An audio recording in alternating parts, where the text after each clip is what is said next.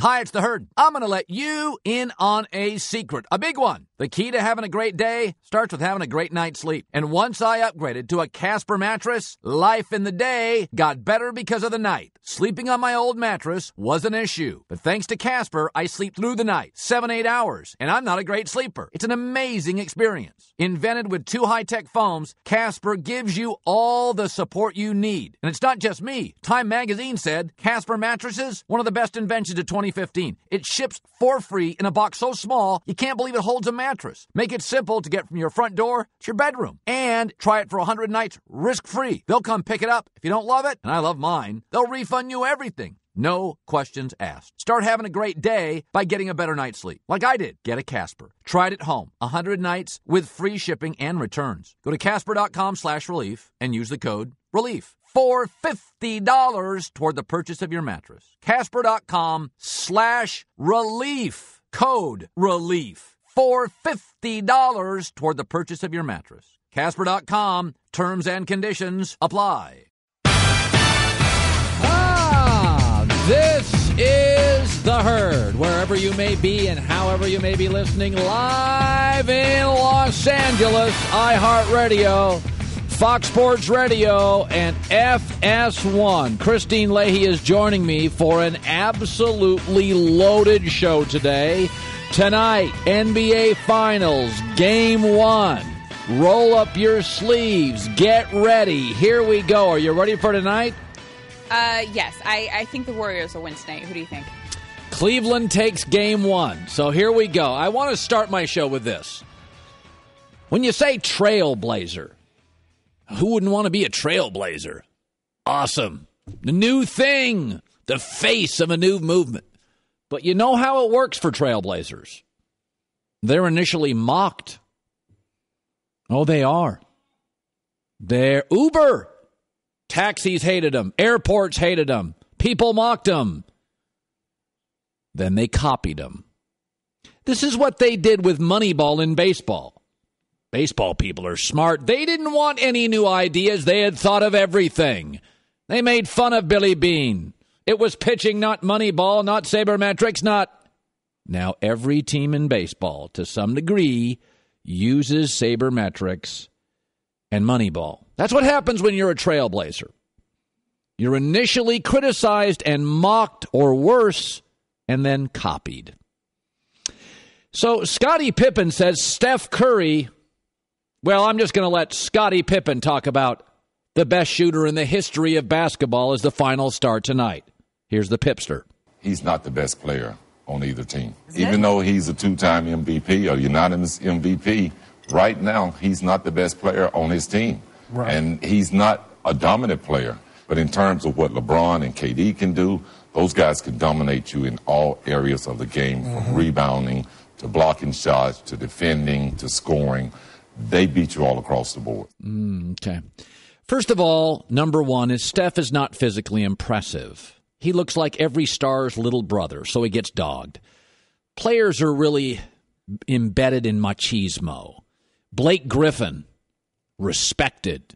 What does Blake Griffin do well? Does he shoot well?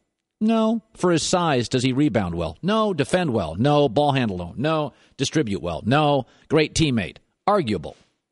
Steph Curry's the best ball handler in this league. He's also the best shooter, top 10 distributor, top 10 steals and gets along with everybody. I know it shouldn't matter, but you know, that thing above the shoulders matters too. Russell Wilson always deals with this. Cam Newton, beloved by players. Wins and losses, check Russell Wilson. Completion percentage, check Russell Wilson. Touchdown interception ratio, check Russell Wilson. Passer rating, check Russell Wilson. Maturity, check Russell Wilson. Super Bowl wins, check Russell Wilson but Cam is more popular. Players are into size and machismo and all the things that don't really matter.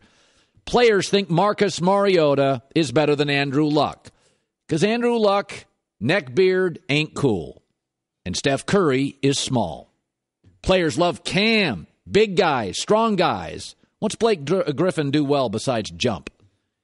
Steph Curry scores faster than anybody in the history of basketball. Let that soak in. Faster than MJ, faster than Wilt, faster than Bird.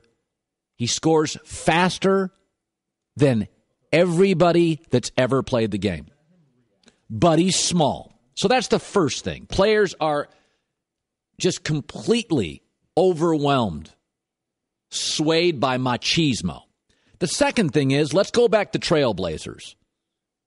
When you're new, you are initially mocked, hated, disliked, and then you're copied. People made fun of Chip Kelly. A play every 13 and a half seconds? That will never. Hey, guys, we got to get a play in every 15 seconds. Two years after he arrives as Oregon's head coach, huddles disappear in the Pac 12. Three years later, they disappear in college football. Belichick, Urban Meyer stop by Eugene, Oregon for meetings. And this is Steph Curry.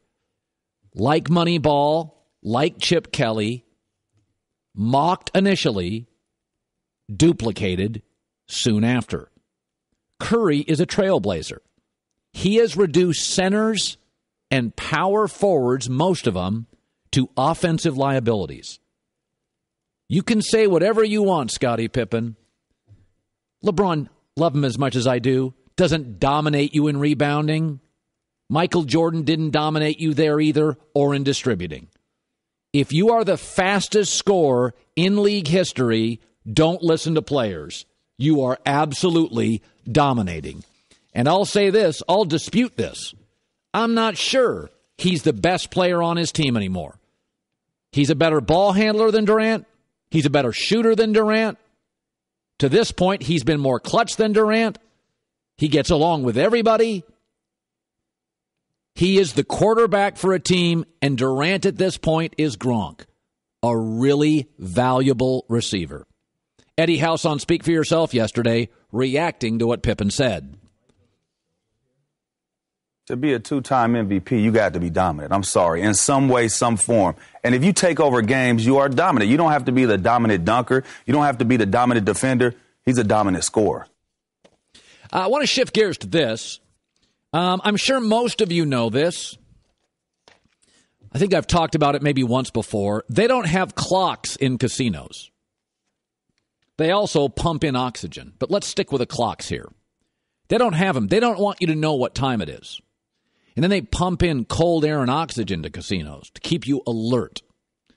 The premise with both no clocks and pumping oxygen into casinos, also no windows, they don't want you to know what time it is. They want to keep you in, keep you engaged as long as you can. They don't want you to look out that window and say, man, it's, it's dinner time, it's getting dusk. No clocks, no windows in casinos. The psychology of Vegas. And they also, I'm told, pump in cold oxygen, keep you alert. This is the premise that the NBA uses beautifully. The NBA Finals will start on June 1st and end on June 18th.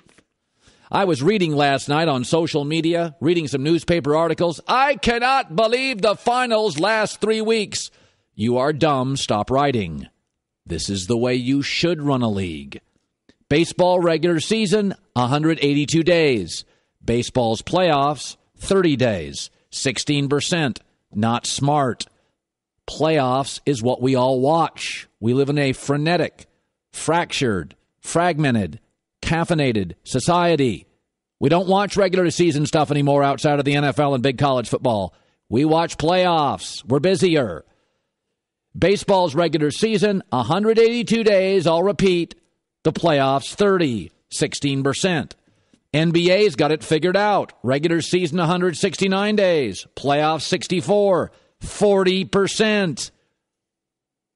Of all the leagues, the two that are smartest about the playoffs, NBA 1 and NHL 2, goes back to the casino theory keep you engaged. The longer, the better. This is what malls do.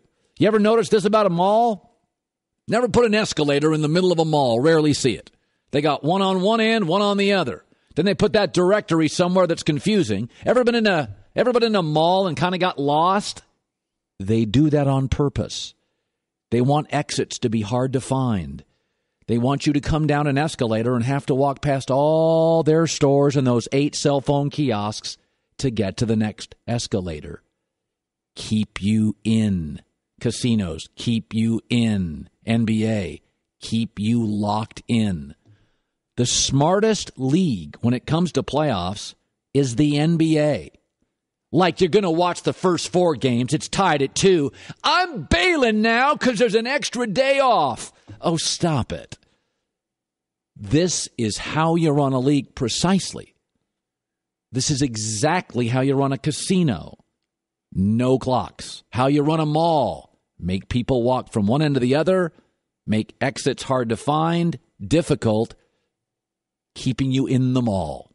The NBA finals start tonight. I'll be locked in for three weeks. Hopefully, it goes three weeks, and you'll be locked in too. Uh, nice to have you in. We are uh, we are as packed as we could be. We had um, yesterday on the show. We had Adam Silver, the commissioner, on. He had uh, made news, several talking points. Uh, I thought uh, of the many things he talked about, one and dones was fascinating, but I also thought talking about super teams. By the end of the conversation, if you missed it, it was almost embarrassing criticizing the Warriors in Cleveland after you heard how systematically he laid it out. I mean, after you, if you hate super teams and you listen to them, it was kind of like, oh, my, my bad. If you missed it, I'm going to let you hear that, and I'm going to let you hear that next. Adam Silver, NBA commish, on our show yesterday. In about eight minutes, I'm going to go to San Francisco to talk. Former NBA player Jim Jackson, Jason Whitlock today joining us as well. Chris Broussard, Cedric Ceballos, all here.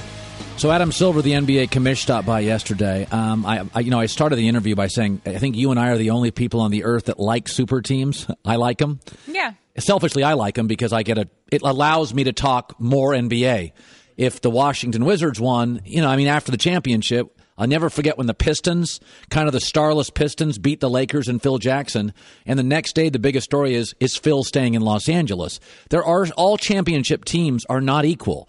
When I was a kid growing up, the Seattle Sonics won it with Gus Williams, Dennis Johnson, Lonnie Shelton, John Johnson uh, Jack Sikma, it was like a superstarless team. It was not transformative. It was not transcendent. The Lakers with Magic were. The Celtics with Bird were. I like superstar teams. Selfishly, it allows me to talk about a sport, the NBA I love, in the off season more. I want star teams to be assembled. Uh, but I thought Adam Silver made two great points on super teams. He's talking here about Golden State uh, and the and the building of the Warriors. There's a connotation around super teams that they didn't come together endemically, that they're not somehow that's a comment not about the quality of the team, but about the way they were formed. What you have in Golden State, I mean, first of all, by any standard, you had a super team. The most w- winningest team in NBA history was 73 games last year. A team that was formed, in essence, through the draft and a few trades, yeah. and without even a top draft pick. I mean, Steph was, I think, was seventh. In, in my view, that certainly was a team um, that was super. Yeah, they won a title without Kevin Durant. They've yet to win one with him. You do get that Steph Curry was passed on twice by the Timberwolves, who also later passed on Klay Thompson.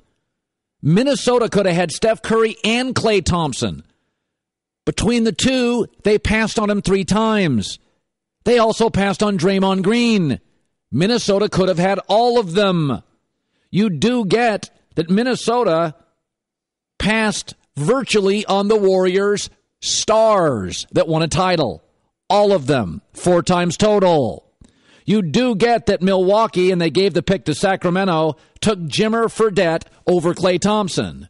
When I had told you, lectured, argued, yelled, screamed for a month before that draft, he was the only guaranteed bust in the draft. I told you that over and over and over and over. I'm a radio guy.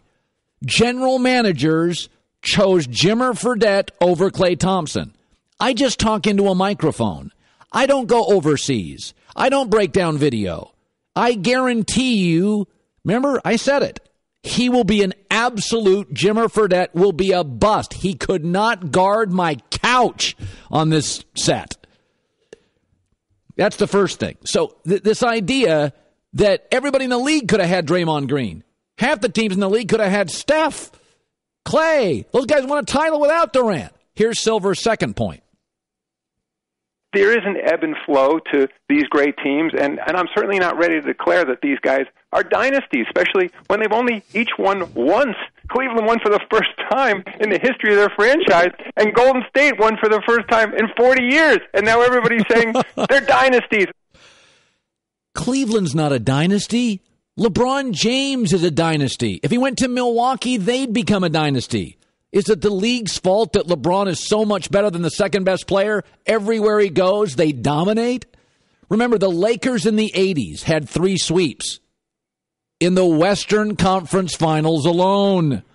In 12 years, the Lakers made nine finals. But Kyle and Kevin Durant went to a super team. It didn't used to be that way. Yeah, my bad. Like when Barkley and Pippen joined Akeem and Drexler. only reason you don't remember it, they didn't win a title. The decade of the 80s, only five teams made the finals in a decade, and you loved it. Dennis Rodman already had two rings by the time he joined Pippen and Jordan. Enjoy greatness. It's fleeting. Enjoy it. Here's Christine with the news. No, no, no, no. Turn on the news. This is the Herdline News. There's so many reasons to look forward to the game tonight, and you can look for storylines everywhere. But one of the interesting ones is that Kyrie Irving actually played under Mike Brown um, for a year, the first time that Mike Brown was in Cleveland. So mm-hmm. he was asked about his relationship back then. You know, it's just a learning experience. I was a 21 year kid, uh, you know, just trying to lead a, a franchise, and he was a a new head coach that I had to get introduced to. It wasn't um, something that I look back on and I kind of regret um, you know, being part of that because he was just trying to teach me a lot of things that I didn't necessarily understand as a 21 year old in the NBA. So, um, you know, he definitely has some great things and a knowledge of the game that's, uh, you know, up there with some great coaches. So he's talking about the fact that Mike Brown was trying to get him to make a lot of changes to his game, and there were even reports that he tried to get him um, traded yeah. while he was there. Um, and then you look at Mike Brown's side of this, and he was fired by Cleveland twice, and now he's got the opportunity to head coach against them in the finals. So Mike Brown was also asked how he's looking at this game. A lot of people have said this to me, and maybe I'm made up differently, but I'm not looking at this as, you know, Cleveland fired me twice. This is a time to get back at them, or is there any extra incentive? No, I just I just want to win. I don't I don't care who it is. I just want to be a part of a, a winning program and be the last team, quote unquote, standing. And uh, so, no matter who it was in front of us, and just happens to be Cleveland, yes, I want to win just as bad as if it was anybody else. Okay, that's the right thing to say, but you're yeah. absolutely trying to get revenge against Cleveland. He was fired twice by that team. Yeah, I don't. I don't see him though as a real vindictive guy. No, I, I, don't. I don't. You know, Kyrie's funny. When Kyrie came into this league, first of all, he's never been a good defensive player, and he was injury prone. So there was a lot of doubters on Kyrie Irving. Even mm-hmm. today, there's a lot of people that, like, when you list the best players in the series, yesterday Bleacher Report had him at five. When you talk to players, they're like, oh my God. Like, if, when you hear LeBron talk about Kyrie, there mm-hmm. are times LeBron's like, in awe of his offensive skills. I think both Mike and Kyrie have grown a lot. I think if a player can improve, why can't a coach? Mike Brown could be oh, better oh, today sure. than he was six years ago. For sure. But and Mike Brown is a very nice, happy guy. But there's got to be. I mean, imagine if you were fired by a place, then they asked you to come back, and then they fired you again. No matter but, how happy and nice you are, you're still going to be mad. I don't know. Like I, I actually root for my ex-wife to succeed. I want her to be happy. But that okay, but you didn't marry her again and then leave her. Well, no, I just but I could have said. Oh, actually, it would be her leaving you. Yeah, she she she was tired of me. I have no animosity. I want her to be happy because if she's happy, my kids are happy. I don't think everybody has a. I'm not. I'm not. No, I get it. I just I, I think that I mean I don't know because they haven't been divorced, but I think that divorce might be a little different than. It may be. I I, I just don't see Mike Brown as a grudge guy. I think he's a very joyful guy. Okay. I would love to put Mike Brown on my staff. As I always said about Wade, I think he's the Wade Phillips of the NBA. Uh-huh. Maybe he doesn't have the ego to be the guy, but every coach in the league, the Rams, the minute they needed a defensive coordinator and they're desperate in the front office, they went and got 70 year old Wade Phillips. Like, everybody loves Wade as a two. There's nothing wrong with that. Well, that's a good point, actually, that you made that maybe he doesn't have the ego to be the guy. That's and right. if that's the case, it might make sense that he doesn't have the ego to care whether he gets revenge on Cleveland. I mean, a lot of grudge holding, isn't it ego? Absolutely. It's 100% ego. And I, Mike is a fairly egoless guy. Like when he came to the Lakers, I think he was overwhelmed by how much late, how much ego you needed to survive the Laker organization. It's Mm-hmm. Oh, for all sure. it's all ego. Yeah. Well, I'm just looking for more ways to love this series. Here's another one. More drama ahead in the series.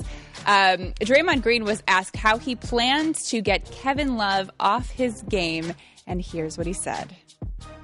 What is it that works against Kevin Love? What can you do to kind of bug him, get inside his head, to kind of neutralize some of the things he does so well and so effortlessly? I mean, I just try to use my speed uh, to my advantage. You know, try to take him out of spots where he's comfortable. Is he susceptible to a lot of trash talk? Can that take him away a little bit?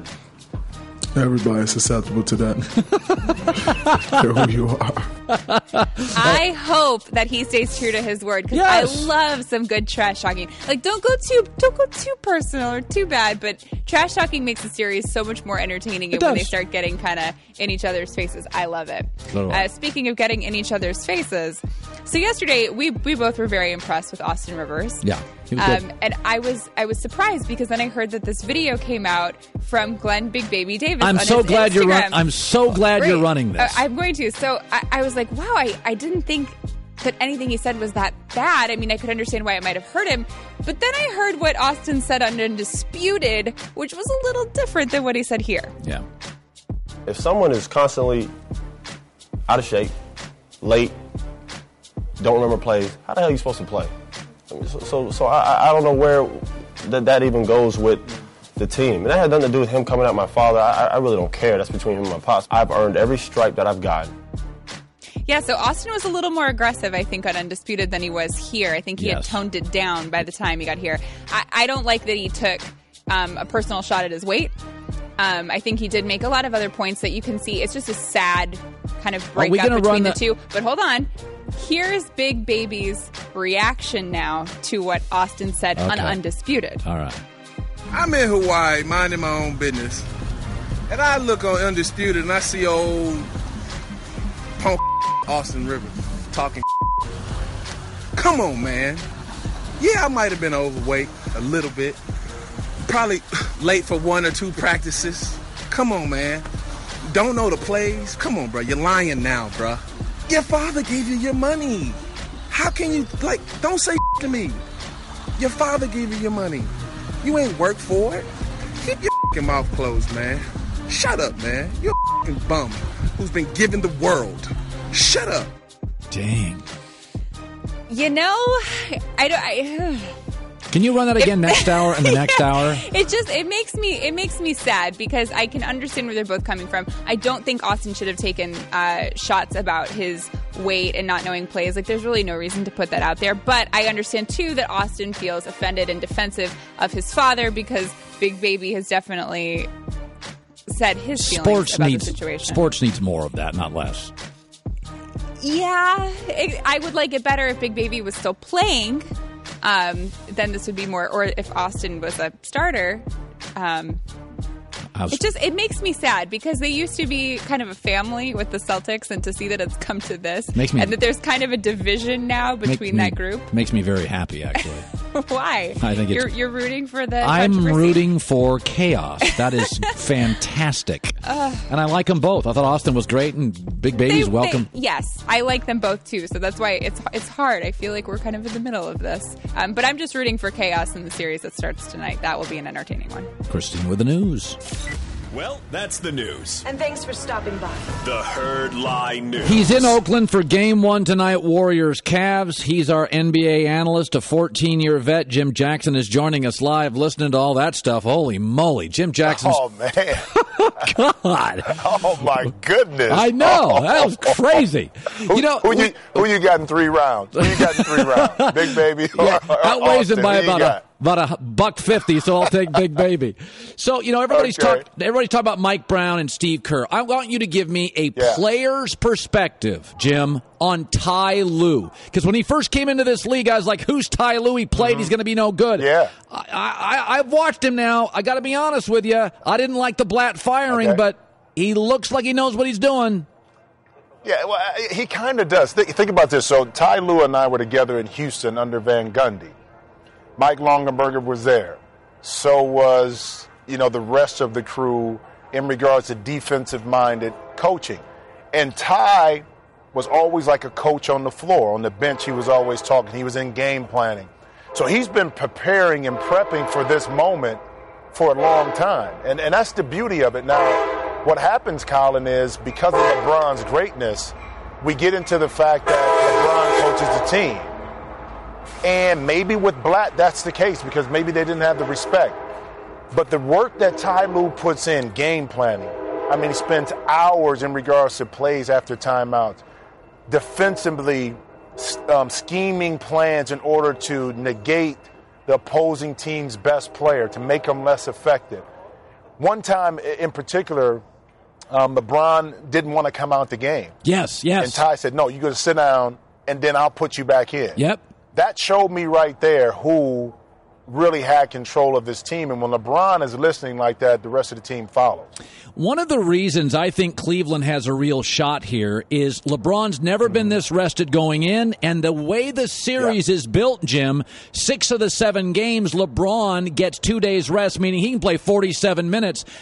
And I think Golden State, a shooting, a young shooting team, would rather play every other day. You, you tell me as a player, is there almost too much rest in this finals? Well, it, it is, and it seems a lot longer for Cleveland, too, because you, you think about the sweeps they had. Now you sit out eight or nine days. Like Golden State, too. Guys would rather sit out maybe four or five instead of nine days. Yeah, that's a lot. Because at least you don't lose all of your rhythm. Um, you want to get the series over with as quickly as you can. You want to get some rest, but how much rest is too much rest? I mean, it, it stretches it out for the fan to watch through June, but guys just want to get out and play. And, and again, the way this series is built, LeBron is really good on two days rest. He gets focused, his body is in shape. But also, from a game planning perspective, he's so dialed into what he has to do on the court that it gives him a slight edge over other players. You know, uh, um, we know this happens in all sports. In hockey, they shrink the goalie's pads. They did it again this year, and that helps star players. That increases scoring. So we know baseball has lowered the mound to help uh, batters. I really believe this to be true. That you don't have to release a memo if the Warriors, who swept, swept, swept the first three series, and then they get up two nothing mm-hmm. on Cleveland and they're blowouts. I think it will be an unspoken moment for the refs to say, we have to allow more physicality or this is going to be ugly. You don't have to tell the refs that. Have you ever been in a series, Jim, where you felt the officiating changed in the series? You know what? Well, back in when I played, it's fortunately for me, when I got my first touch of the playoffs, it was the 98 99 season, the lockout season, when I was with Portland. Yeah. And it was physical play at that particular point. But our first round series against Phoenix wasn't as physical as when we finally got to San Antonio. And you can feel the shift, the momentum change. Now, I'm going to tell you what, last year's final, when Cleveland played Golden State, you remember how physical that was compared to Yes. the other series in front? Because the officials understand kind of what's on the line. They're going to allow the guys to play and get away with the holding, especially keep your eye on the physicality away from the ball. That's where I think Cleveland, and I talked to you about this before, has the advantage when they're guarding Steph. They're really physical with Steph away from the basketball, so by the time he gets it, he's a little worn out, a little tired, but officials do look at it in regards to allowing guys to play a little bit more physical than what they did not just uh, in the regular season, Colin, but in the series the conference finals right before. You know, yesterday Scottie Pippen said uh, Steph Curry's a great player, but he's not dominant. I would argue he's the fastest scorer right. in NBA history. That's dominant to me.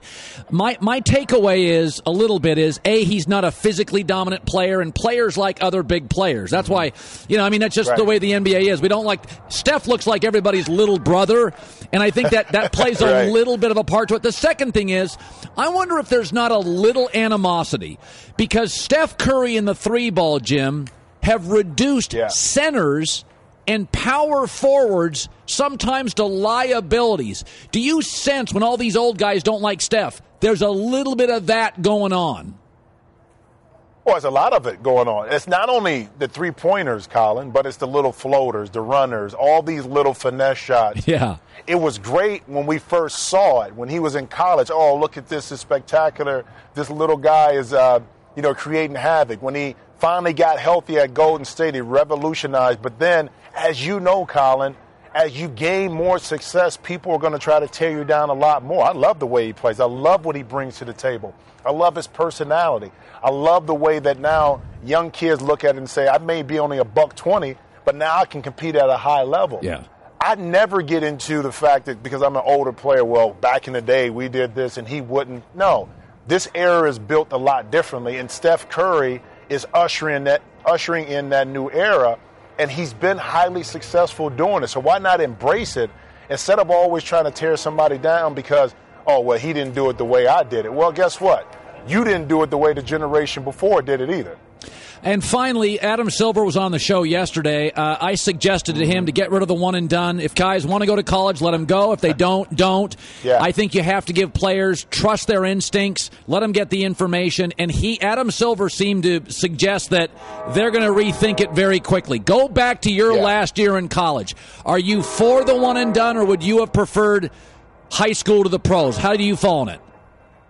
Well, I'm for the one and done from this perspective, Colin. I listened to that interview, and it was great yesterday. Is that you should have, a guy, young man, should have an option whether college is for him. I don't care what it is, whether it's school, baseball, basketball, football is a little bit differently. But here's my thing, and I think Adam Silver hit on this as well, that we really have to modify and enhance, and you said this too, the NBDL. This is an opportunity for a young man who may be not physically and mentally ready to go into the NBA, but for a year or two, understand what it is like to be a professional, learn the game, learn the lifestyle, and then now when he's put in the situation to be on an NBA roster, he's ready to go. So that's where I think the dynamic can come in. Where if a guy just said, listen, college is not for me, an opportunity for me to move on and take care of my family, but put him in a situation where his failure rate is diminished by improving the D League. By the way, how big was that train that just went by? Is that the world's loudest train? Listen, that's the second train, but you notice my concentration level was right here on you, Colin. I never got away from it. I listened to everything. What train? I don't know what you're talking about. Jimmy Jackson, good talking to you, bud. you too. Uh, another reason I think tonight's championship start is going to end in seven games. I think it's going to be a really, really even series, and I think there's a precedent for it, and I'll get to that next. Takes more than a roof to make sure your home is covered. Farmers Insurance, 89 years of knowledge and experience. Protect what's important to you. Learn more at farmers.com. Uh, I think the refs will play a major um, part in this series, and I don't think that's a bad thing. Um, first of all, I think we're going to have a close series because if you look at the last seven major championships, the last championship was the Final Four, Gonzaga, Carolina, close. Super Bowl, overtime. College football, Clemson over Bama last play. World Series, seven games. NBA Finals, seven games. March Madness, game winning shot, Nova Carolina. Masters, went to a playoff in my lifetime, I don't ever remember a time when this many championships in succession came down to the last three and four minutes. Um, I think also Cleveland's legit. I think they're healthier than Golden State. I think they have more veterans than Golden State. I think they have the confidence of a champion that beat Golden State. I think Love, Kyrie Irving, and LeBron are playing their best team basketball ever. I think Cleveland has a more physical roster. I think Cleveland faces less pressure. And I will say this, and I believe this to be true The referees, having watched Golden State destroy three straight teams, if they get up big in this series, will allow for more physical play. That is not fixing the NBA. That is not rigged. We see sports do this all the time. Augusta tiger proofed the Masters. Was that fixing the Masters? NASCAR does this all the time. They punish dominant teams. They would prefer everybody is tied to a string. So Augusta tiger proofed the Masters. Wanted it closer. NASCAR on a weekly basis changes rules, modifies to keep cars closer. We've seen baseball 26 times raise, lower a mound to help hitters. The NHL again this year shrinks the pads of a goalie. What does that do? More scoring. Who does it help? Star players. Years ago in hockey, they got rid of clutching and grabbing. Who did it help? Offensive players. Who did it hurt? Physical defensive teams. The NBA would simply do the opposite. They would intuitively, there is no memo needed. If Golden State just starts running away with this thing, we know one team has a more physical roster. From Love to Tristan to LeBron to Deron Williams, they'll modify their officiating. And I don't think that's a bad thing. I think we've seen it in NASCAR, we've seen it in the Masters, we've seen it in hockey, we've seen it historically in baseball. Leagues all the time, a salary cap. A salary cap's not there to help New York and LA, it's to help the little guy. NASCAR helps the little guy. Golf helped everybody but Tiger. And I and I don't think, you know, conspiracy guy always thinks there's a memo. You don't need a memo. It's understood. If you miss, if you forget your wife's anniversary, there doesn't need to be a memo that you better go big on her birthday. No memo needed. It's the unspoken truth of marriage. Missed on one thing, make it up on another. Just like when a teenager blows through a curfew. When you come down the stairs in the morning, mom's not happy. You ask her if you can clean the living room. There is no memo. It's unspoken. This happens every day in our life. Little late to a meeting, suck up to your boss.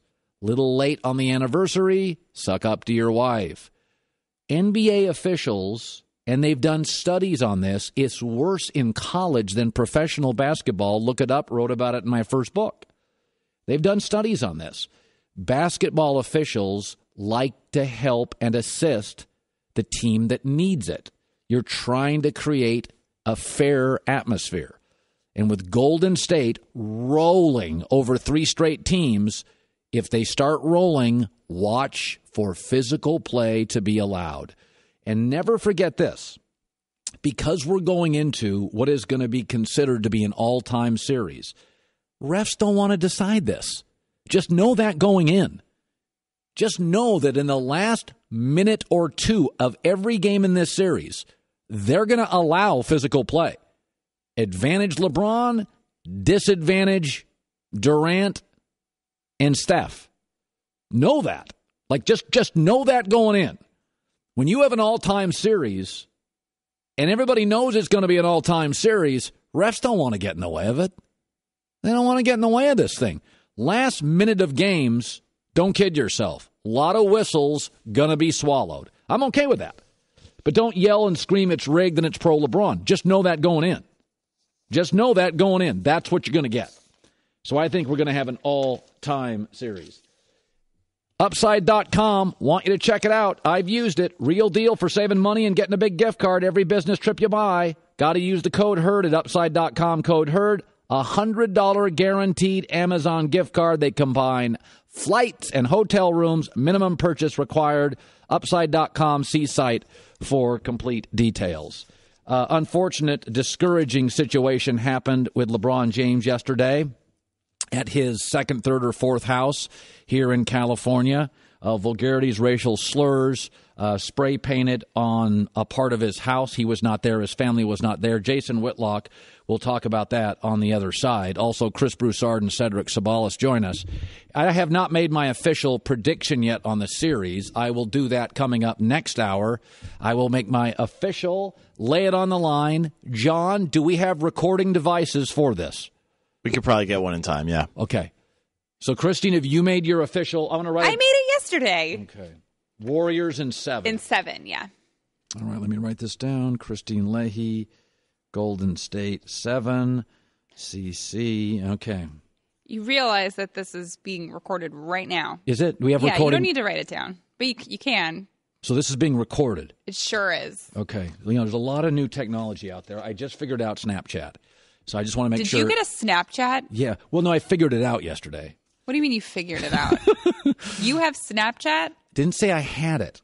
I So was. I whose was, were you using? Well, I don't want to get into things, but I have discovered. Uh, I understand it now. Listen, I'm not a guy that waits in line at a store to get the newest technology. I do eventually embrace it. It just ta- it just takes me a couple of years to um, embrace it. All right, uh, Jason Whitlock's around the corner. Hour one, hour two coming up. It's the herd. This is The Herd. Wherever you may be and however you may be listening, live in Los Angeles, iHeartRadio, Fox Sports Radio, and FS1. Christine Leahy is joining me. Game one of the NBA Finals tonight. I will have uh, my prediction. Christine Leahy likes uh, the Warriors in seven. My friend Jason Whitlock joining us in about two minutes likes the Warriors in five. I will have this hour my prediction on the NBA Finals. I have thought long and hard about this. I want to start this hour with this before I get to Jason. Scottie Pippen was talking about the Warriors and Steph Curry, and he's not a dominant player. This is from my former network. Let's roll the tape. He's not the best player on either team. Even though he's a two-time MVP or unanimous MVP, right now he's not the best player on his team. Right. And he's not a dominant player. But in terms of what LeBron and KD can do, those guys can dominate you in all areas of the game, from mm-hmm. rebounding to blocking shots to defending to scoring. They beat you all across the board. I don't think you have to dominate people in all areas of the game to be dominant. Kareem Abdul Jabbar did not dominate you in distribution. Michael Jordan didn't dominate you on the glass. Here's what I know about Steph Curry he scores faster and with more efficiency from the range in which he shoots than any other player in the league. And what I like about Steph Curry and I like about LeBron James, they are the modern player. And both, the only two stars in this league that seem to irk former stars are LeBron James and Steph Curry. And I think some of it is they are the millennial attitude of the new NBA. They're okay playing with other stars. That is not to them a weakness, it is a strength. People used to say about President Obama, he's detached. Is he detached or is he mature, not having to run to social media every time he has a thought or is perturbed? Is Russell Wilson detached or is the Seahawk quarterback mature, not wanting to get involved in teammate friendly fire? Sometimes what we view as a weakness can actually be a strength. I love the idea that LeBron and Steph Curry can fully and eagerly embrace other stars. LeBron can let Kyrie dominate a half. Kobe struggled with that. Steph Curry can embrace Kevin Durant. Michael struggled with that. By the way, they all love Westbrook. Westbrook's old school. Westbrook won one playoff game. I'll take Steph and their mindset. I'll take LeBron and his mindset. Want to bring on now uh, Jason Whitlock, my friend, the host of Speak for Yourself. Very rarely, Whitlock's a very busy man. Very rarely does he text me, Christine, Uh-huh. and say, "Do you like? Would you like me on the show?" And of course, I would like you on the show. I have encouraged your participation with this show. Much like Steph, I welcome other stars eagerly. That means you have something to say, Jason. I do have something to say. So let's start with uh, your re- initial reaction when you saw the racial slurs had been written on LeBron's L.A. home not far from here. You know, I, I think it's a disrespectful inconvenience for LeBron James. Uh, I, think that This is where I struggle with LeBron James. He has fallen into the far left trap of there's value in embracing your victimhood. And so LeBron, I, I, watched his press conference.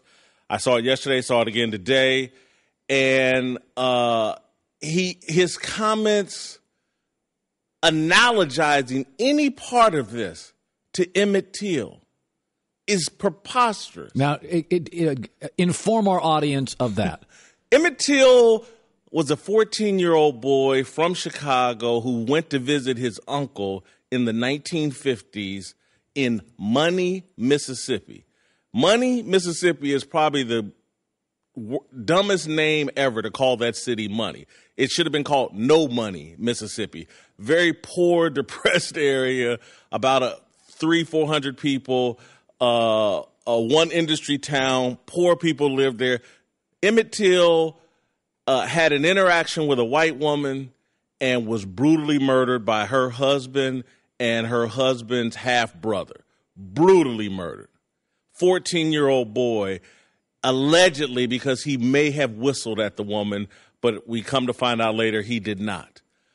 Brutally murdered. It's one of the most tragic historic events in African American history. There's no analogy between that and what happened to LeBron James. He allegedly had the N word spray painted on his $20 million Brentwood home. He wasn't there. His family wasn't there. He heard about it. He's on stage. Oh, my family's safe. From what? Spray paint? They're in Cleveland. Uh, again, I, I don't want racism is an issue in America, but it is primarily an issue for the poor. It's not LeBron James's issue.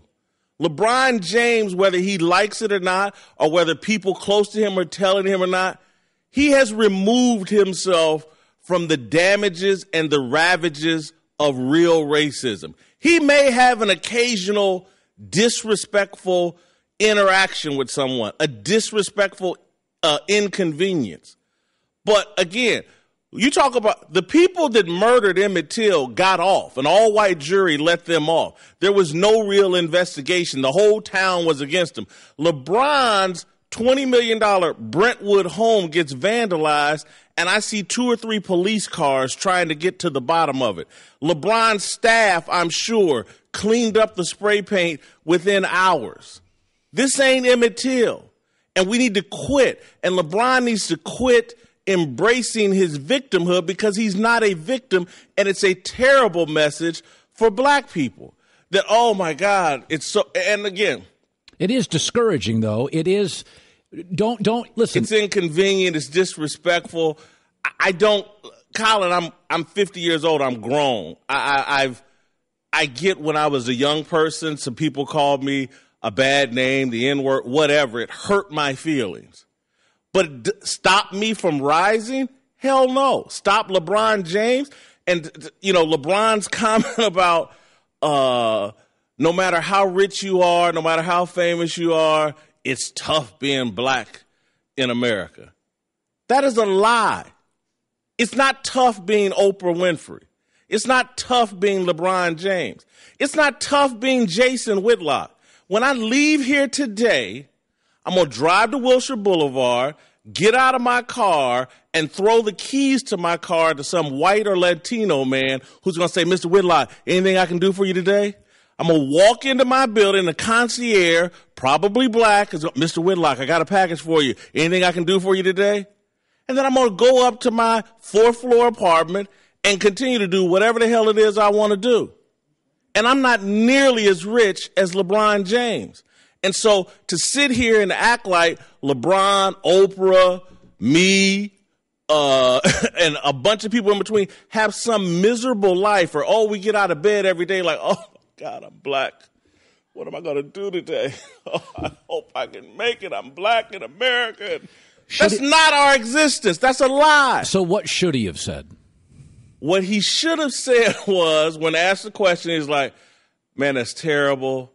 Uh, I hope that the people involved uh, are are caught and learn a lesson from this, uh, I'm fine. Yes, racism is an issue in America, but this is something me and my family will get through. It's not that big of a deal. Where the real impact of racism is, is among the poor. Where the real impact of graffiti is, is among the poor. Because again, when they graffiti your name in Compton or one of these uh, poor communities in Los Angeles, it's a death threat. And there is some cons- family safety concerns. But when your family is in Cleveland and you live in a $20 million estate, unless OJ got paroled this week, there ain't a whole lot going down in Brentwood, Colin. Yeah. There, there's not a whole lot of violence and murder and threat to families. And so again, this message that we're constantly pumping out to young black people and the black people that we're just victims and oh my God, the worst thing in the world is to be black in America is just not true. The worst thing to be in America and anywhere on the planet is poor. Go do the numbers, go through the stats. If you're poor, regardless of color, you're catching hell in America and on this planet. LeBron has risen above poverty to that special elevated place we have in this society where pretty much nothing can bother him. And to sit here and say that, oh my God, my house was vandalized in LA and on the eve of this greatest sporting event, I'm traumatized. It's just not true. He didn't say it was traumatized. I understand, but th- that was the the way he postured and you know the way again it was all said for the benefit of social media and Twitter. It, it, it again, I, I, was I'm fired up about it because again, this is the Embrace Debate Network. That's what we label ourselves as. Yeah. And so I'm not out of bounds here when I say I watched Undisputed and saw Shannon Sharpe today say the hardest thing is being black in America. I was just like, this is crazy. Have, have you ever tried to be a veteran that lost a leg in America? have you ever been a poor person accused of a crime and forced to go with a public defender in America?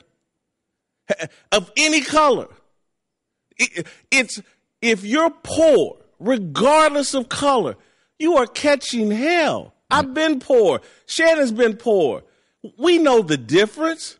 We we know how good our lives are, and we don't need to pretend like, oh my God, this is so terrible. What's happening to us? But, we need to be defending the poor and disadvantaged and talking about their issues because our issues are very minimal. LeBron's issues from this bit of vandalism, there are no repercussions. There, there's the police are going to try to get to the bottom of it. His staff of flunkies and help will clean it up. It's nothing. It, it and again, I'm not excusing race. Whoever the person is, whether they be black, white, or Latino, They're because it's a possibility. Yeah. It could be anybody. They're idiots and stupid. But is, Lebr- is LeBron in some type of jeopardy? Will he be out tonight? Think, oh my God, they vandalized my house. I don't know if I can make this jumper. No. Jason Whitlock, speak for yourself. More than good seeing you. Thank you. It's the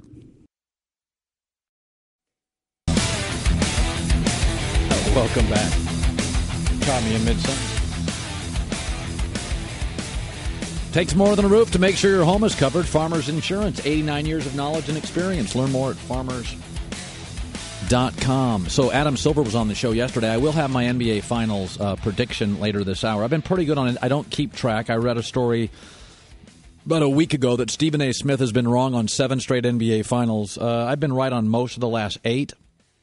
I think this is going to be uh, a very, very good series. I think Tyronn Lue is underrated as the Cavaliers coach. I think Cleveland's healthier. I think they go in as a dog. I think they face less pressure. Uh, I think the officials will allow it to be a more physical series like they did last year. Uh, I do think LeBron's numbers will not be as dominant as they were in the Eastern Conference because I think JaVale McGee and Zaza and Draymond Green uh, are a combination of rim protector and wing annoyance. Um, and so I think Kyrie and Kevin Love will have to have a very, very good series. But um, I, I don't buy into this sweep, Warriors in five stuff. I think Cleveland's a great team. They've proven it. They're well rested. The series actually works in LeBron's favor, where he gets two days off for six of the seven games. I do think it will go long into a six or a seven game series. And with Steve Kerr being out, Ja Jean, Andre Iguodala having been injured this playoff season, also Kevin Durant dealing with an injury earlier this year, I think I get a healthier team, a team with better chemistry I don't know what I get from Klay Thompson. I know what I get from every single Cleveland Cavalier in this series. And if they win game one tonight, which I think Cleveland will win game one tonight, then suddenly they also have home court advantage. I think tonight is Cleveland's game. Doesn't necessarily mean they'll win the series, but having nine days off, even at home, never forget last year in the finals, Cleveland blew out Golden State three times, including once at Oracle. There's a precedent here. I think the chemistry right now is better for Cleveland. With Steve Kerr maybe coaching, maybe not. I get more uh, defined coaching role from Tyronn Lue in Cleveland. The benches are a coin flip. I like Cleveland's. Depends on if Ian Clark shoots well for the Warriors. So for that reason, I am going to take the Cleveland Cavaliers to win in seven games. Uh, I thought about Cleveland in six. I didn't want to get greedy. I think it's going to be a great series. I'm going to take the Cavs. I'm going to take them in seven.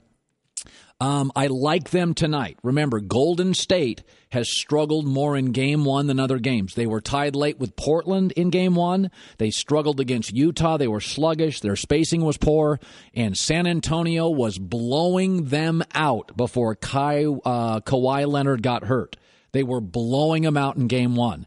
I think the size, intensity, and a moderate layoff, not a ridiculous one, gives Cleveland an edge tonight. I'll take the Cavs tonight, shifting home court advantage, adding pressure to Golden State, and I'll take the Cavs in seven games. That is my prediction for the series. Christine Leahy is going, Warriors in seven, and a majority of the media, I would say, has the Warriors in five. I do not see it that way.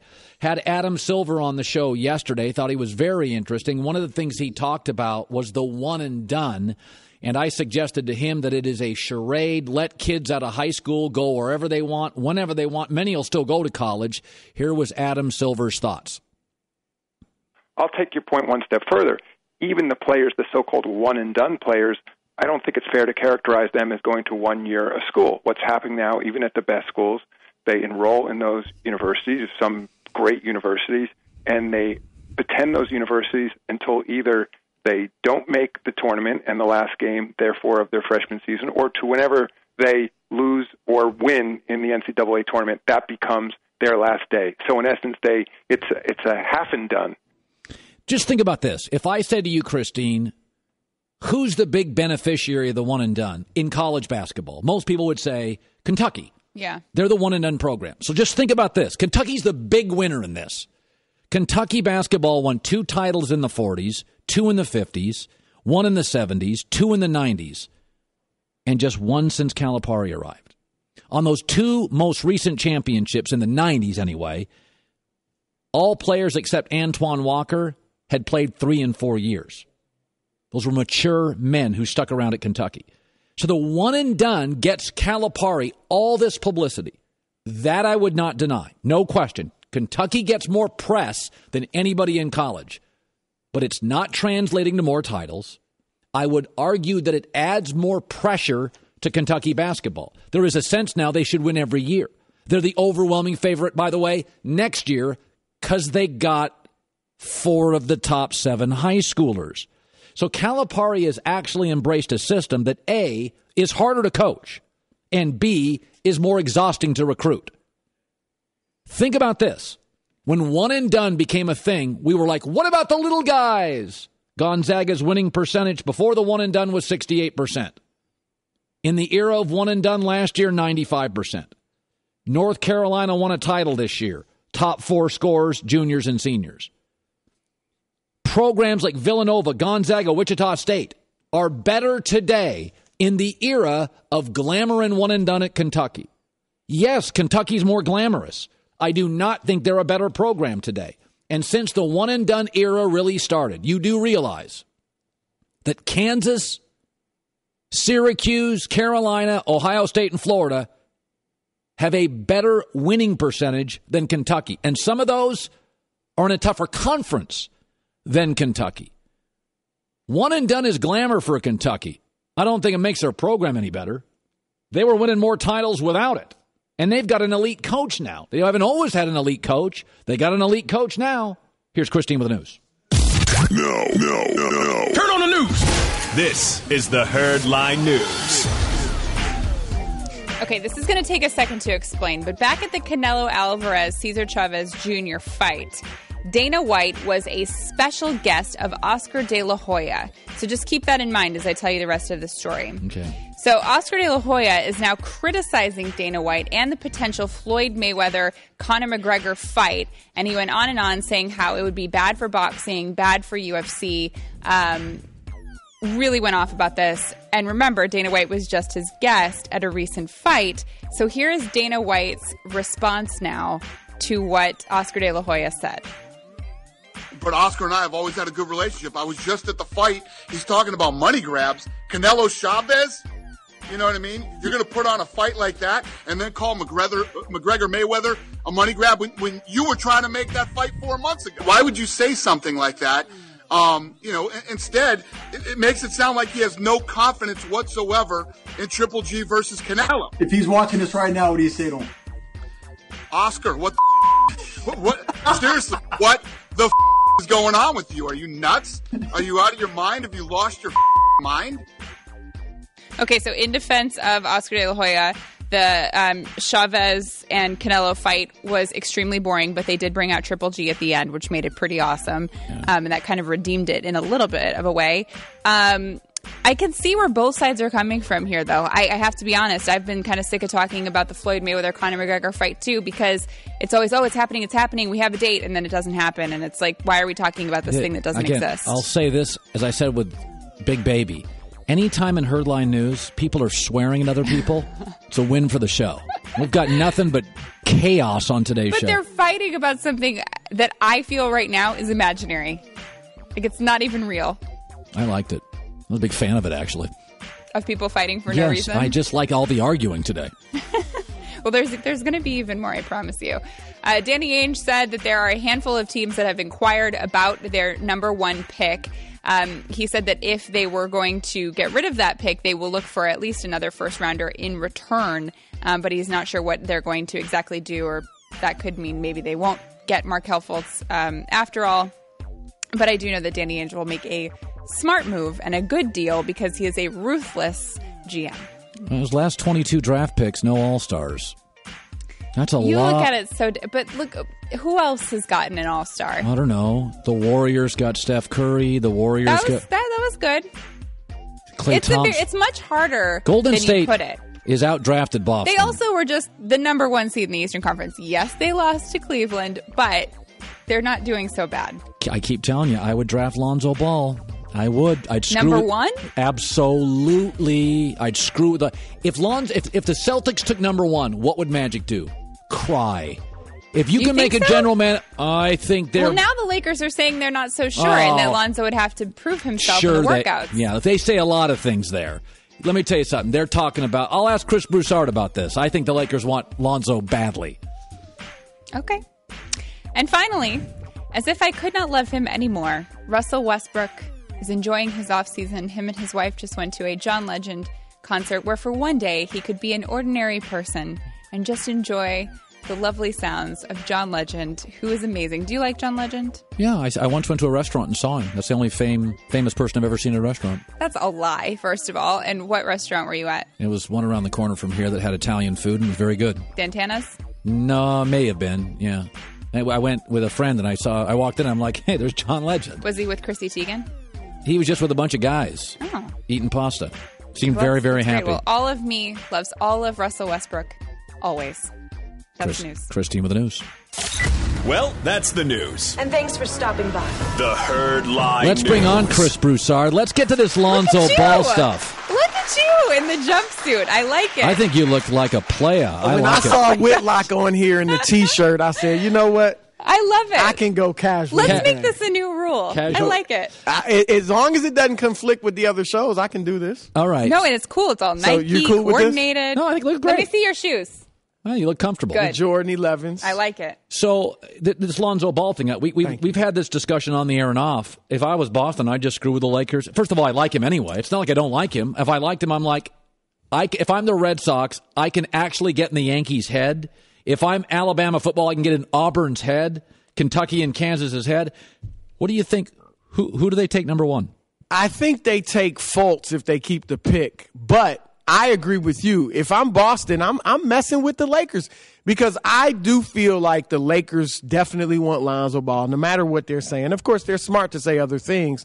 And if they get any of these other guys, as as greatly talented as they are, Josh Jackson, Jayson Tatum, Markelle Fultz, to me, it's just another young hot shot that needs to get his. Right? Just like D'Angelo and Brandon Ingram and Jordan Clarkson and the rest of the guys they have, Julius Randle.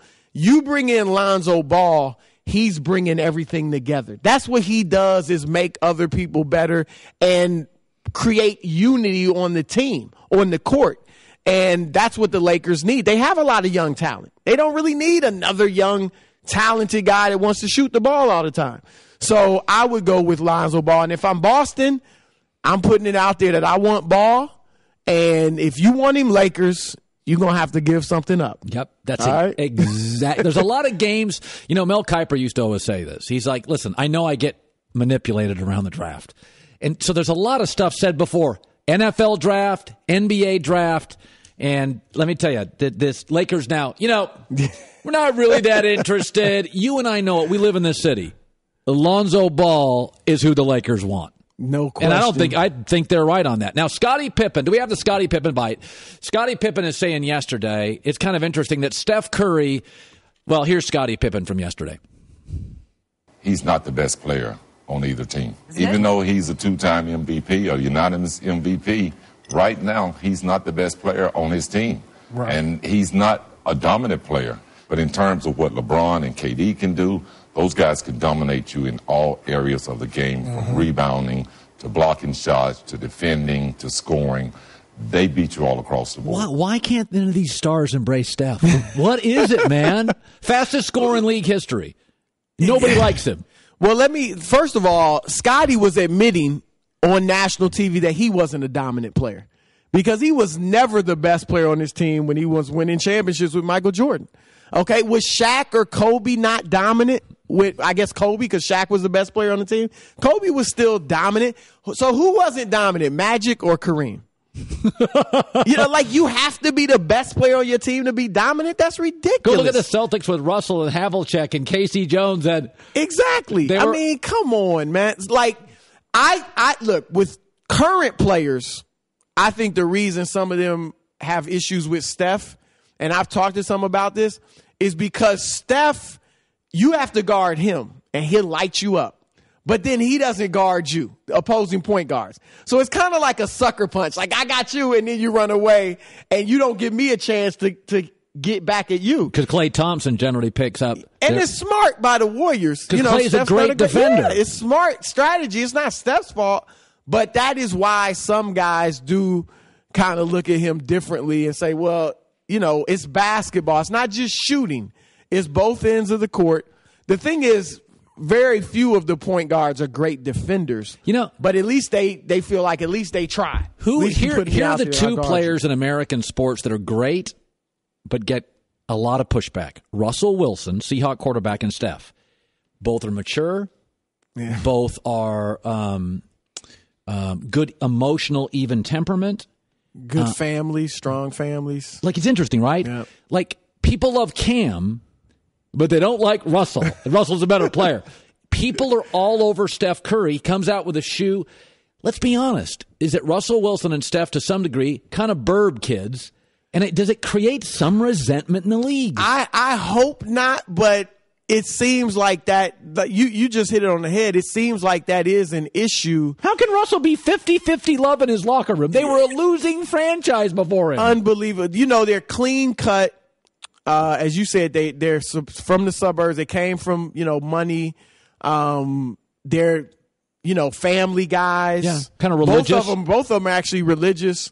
Um, and I hope that's not the case because they that, and, and let's face it, we're talking about the African American community because it's it's a lot of African American players that have trouble with with Russell, and obviously in the African American, you know, African Americans dominate basketball. So uh, a lot of the players you talk to are having issues with Steph. But I would say that when we all talk about uplifting the black community, that's what we want.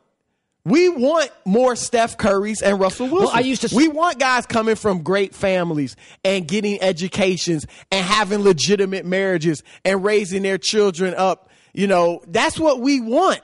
Well, so I used to people got to start thinking about that when they criticize. I used guys. to always say that when people would say oh, Obama was detached, and I used to say, why? Because he doesn't run to his Twitter account? Like, is that Thank you. That's a weakness. I, I like my president to have some ability to go. All right, that hurt. I'm going to take a deep breath, not sprint to his Facebook account. Yeah, nah, no question. No Okay, question. so I just paid my pick. I picked Cavaliers in seven, um, and I, I don't do it with apprehension. I think they're ha- they have right now because the coaching. At least I know who I get. I think their bench is equal at least. Um, I think they have rest, but not too much rest. I think Golden State does. I think right now Kyrie, Love, and LeBron are playing the best they've ever played. Their chemistry is fantastic. I think they have a more physical roster, and the finals historically they allow for more physical play. I think it's a great series. Have you laid out your prediction Yeah, yet? you you've thought long and hard about this. So I I, respect your pick because I do think the Cavs have a great shot. I'm picking the Warriors in six. Is it a good series? Oh yeah, I think it's going to be a very good series. I think the hopefully the games are close. I have this theory. I don't know. It's not fully unpacked, but I just wonder if we see more blowouts nowadays because of the three point Oh, shot. I think we do. And I don't like that because I don't want to see five or six blowouts. Know, last year was six blowouts and then a great game seven, a close game. You know- seven. you know I want to see close games. You know what threes have done? If remember why they allow so many threes. The theory on threes initially was if you're down by 12 late, you're four shots out. But what they've actually done a little bit of that, but what they've done more of is if you get down, you get down early, big, it's discouraging.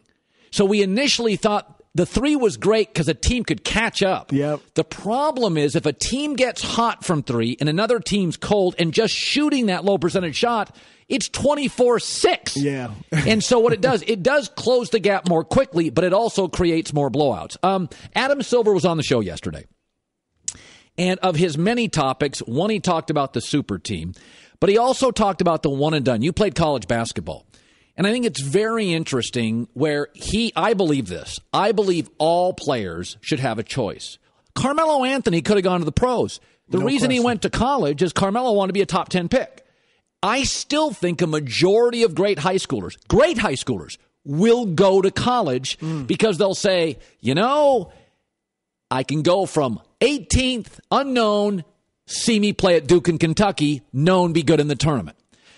What is your takeaway? Adam Silver seems to be suggesting now that they've gotten all the financial stuff done, the TV negotiation, Yep. they're going after this. Where do you fall on it? Well, I think that I heard you say earlier. I believe nobody benefits from the one. The schools benefit. Kentucky's Yeah. supposed to, but I don't know they do. I think the schools ben- I think it's exploitation. I think the players don't benefit at all.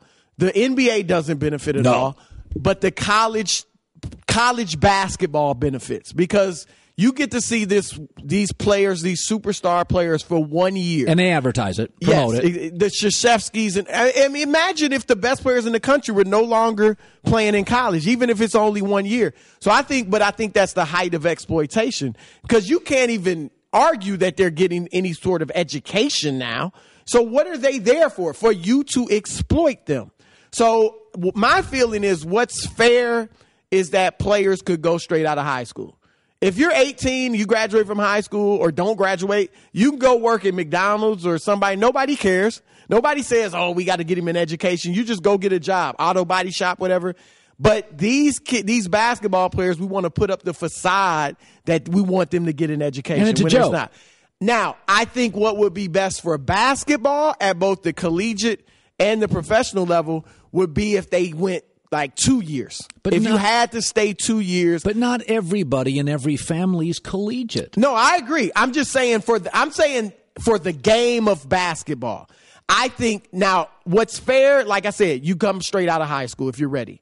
But I think what would be better for the product, I think the quality of play in college would improve if these great players had to stay two years. Oh, I agree. I think the quality of the NBA would improve if they had to stay two years. They would come in. Michael Jordan stepped into the NBA averaging 20, po- 28 So- points so a did- game. so did Duncan. 28. Yeah. Duncan was Finished. Now. LeBron was an aberration. He came right out of high school at 20, but nobody else did. Players now, if Lonzo Ball comes out next year and averages eight points, we're not going to be like he's a bust. We're going to be like, well, give him time. Like Brandon Ingram, give him time. We have to wait and see. You wouldn't have to wait and see as long if they stayed two years in college. So I'm for either let them come straight out of high school or you stay two years. And I think that the Players Association, I believe, has some affinity to that. Like it's either like baseball, you can either come straight out or you have to stay two years. Yeah. So there may be there's some thought about I am that. for choices for young people in America after 18, uh, but I thought it was interesting nonetheless. One more chance to back out and take your Cavs.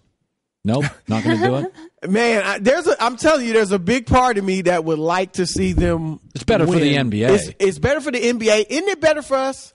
Oh, the God. goat the goat conversation continues and really gets heightened. Right? You think it's over, but it, whatever the case, it continues. If he loses, if LeBron loses, it's over. Barring something Officially. unrealistic, right? Barring him like winning four straight after that, it's over. Sorry. Okay. But he's second best. Is there Colin something might wrong not show up for work Being the better than Magic day. and Kareem and Wilt. Yeah, like, like we like re- that's a we've- problem. We've, l- reduced LeBron's career to a stinker. Exactly. History of basketball, second best bum. Uh, Chris Broussard, it's the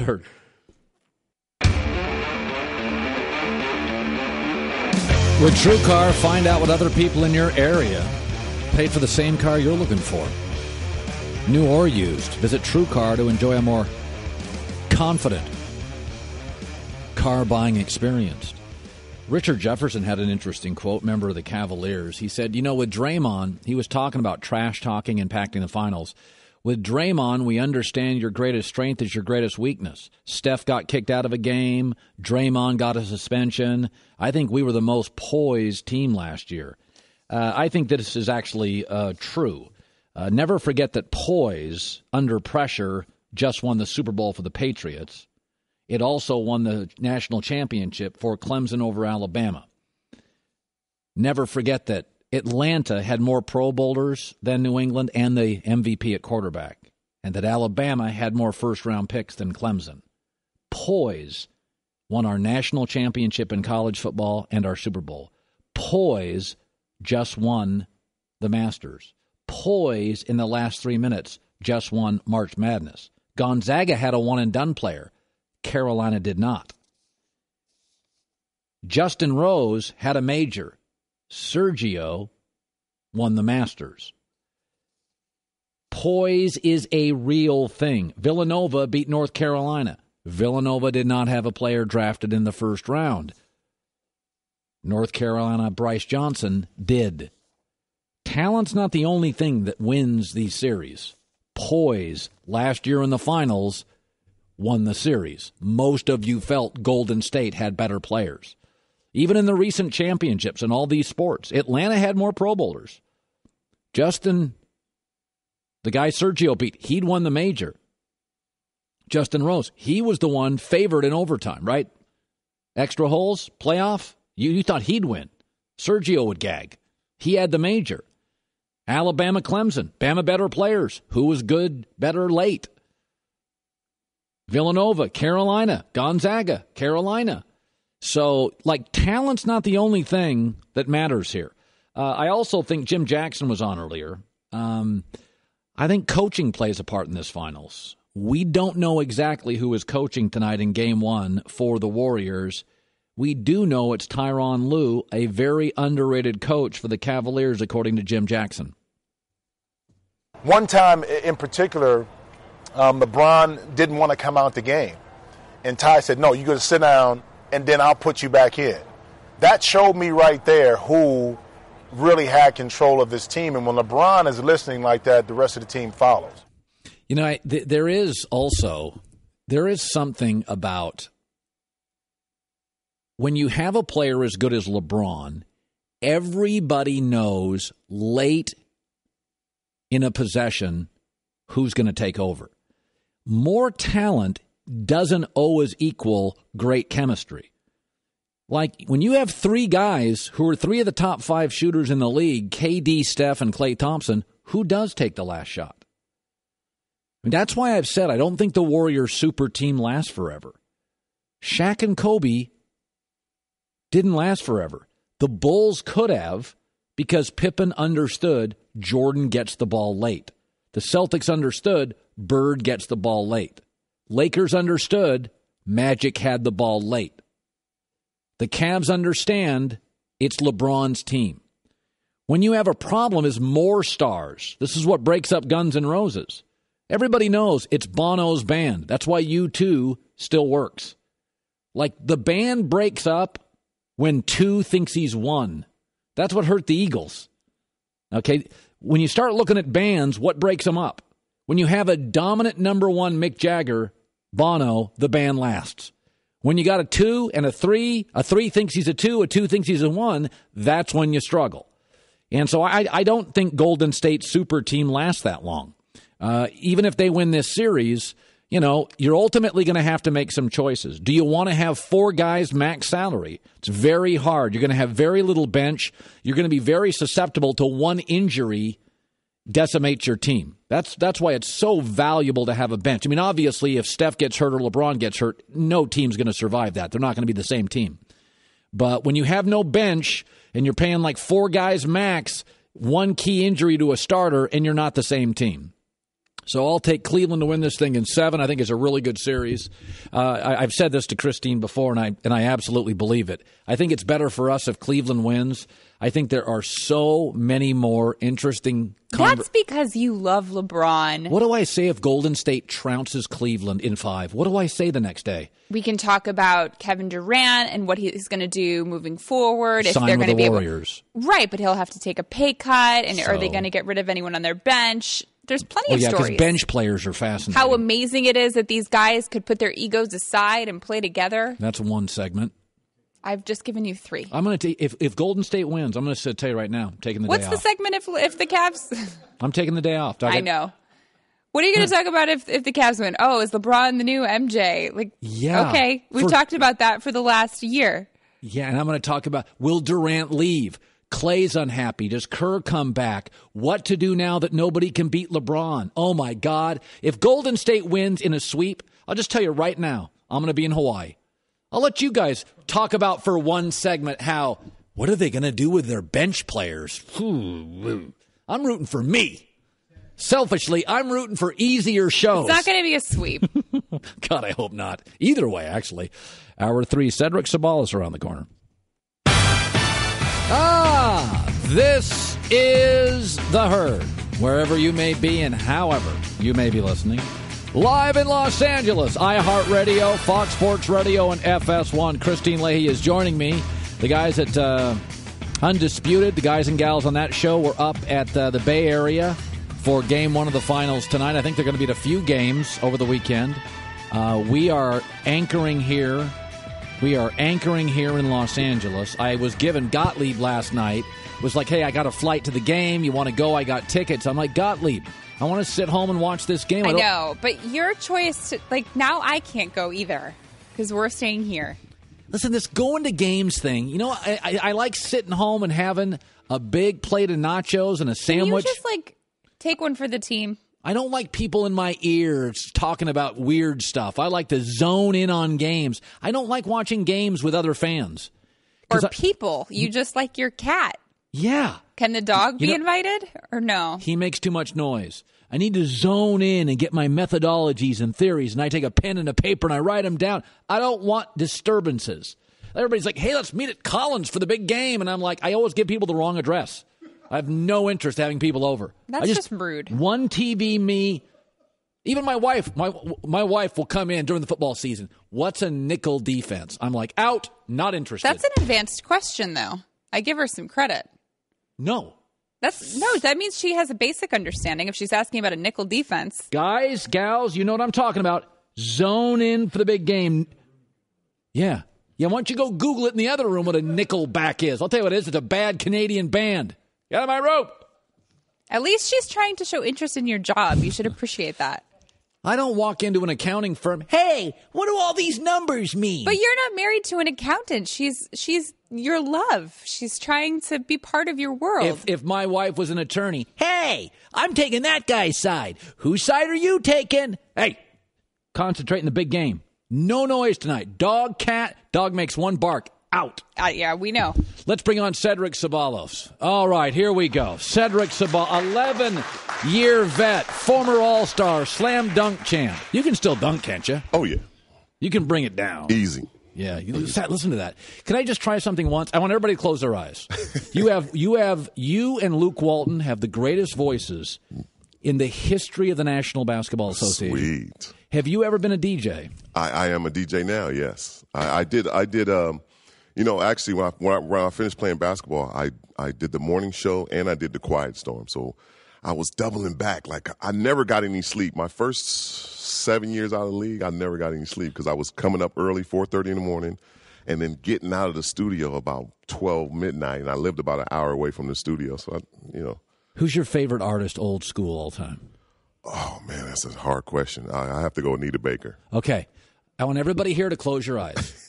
I just want to pretend everybody that's watching our show in America, unless you're driving, close your eyes. Give me a little setup like you're going to commercial. We'll be right back after these messages, but right now, a little Anita Baker right here on the herd. Oh God, that is really something. You're scaring me right now. So first of all, my first takeaway is Scottie Pippen came out. Let's play the tape. Scottie Pippen. I- I'm telling you, you know. The thing about pro athletes, you guys live in weight rooms, and it's, you're all alpha males, mm-hmm. and you were the dominant guy in high school. The girls like you, the Well, coaches me, like you. yeah, yeah. So it's little Steph Curry comes in, yeah, little Steph Curry guy, looks like everybody's little brother. And Scottie Pippen's talking about Steph Curry, and here's what he said about him. he's not the best player on either team. Even though he's a two-time MVP or unanimous MVP, right now he's not the best player on his team. Right. And he's not a dominant player. But in terms of what LeBron and KD can do, those guys can dominate you in all areas of the game, from rebounding to blocking shots to defending to scoring. They beat you all across the board.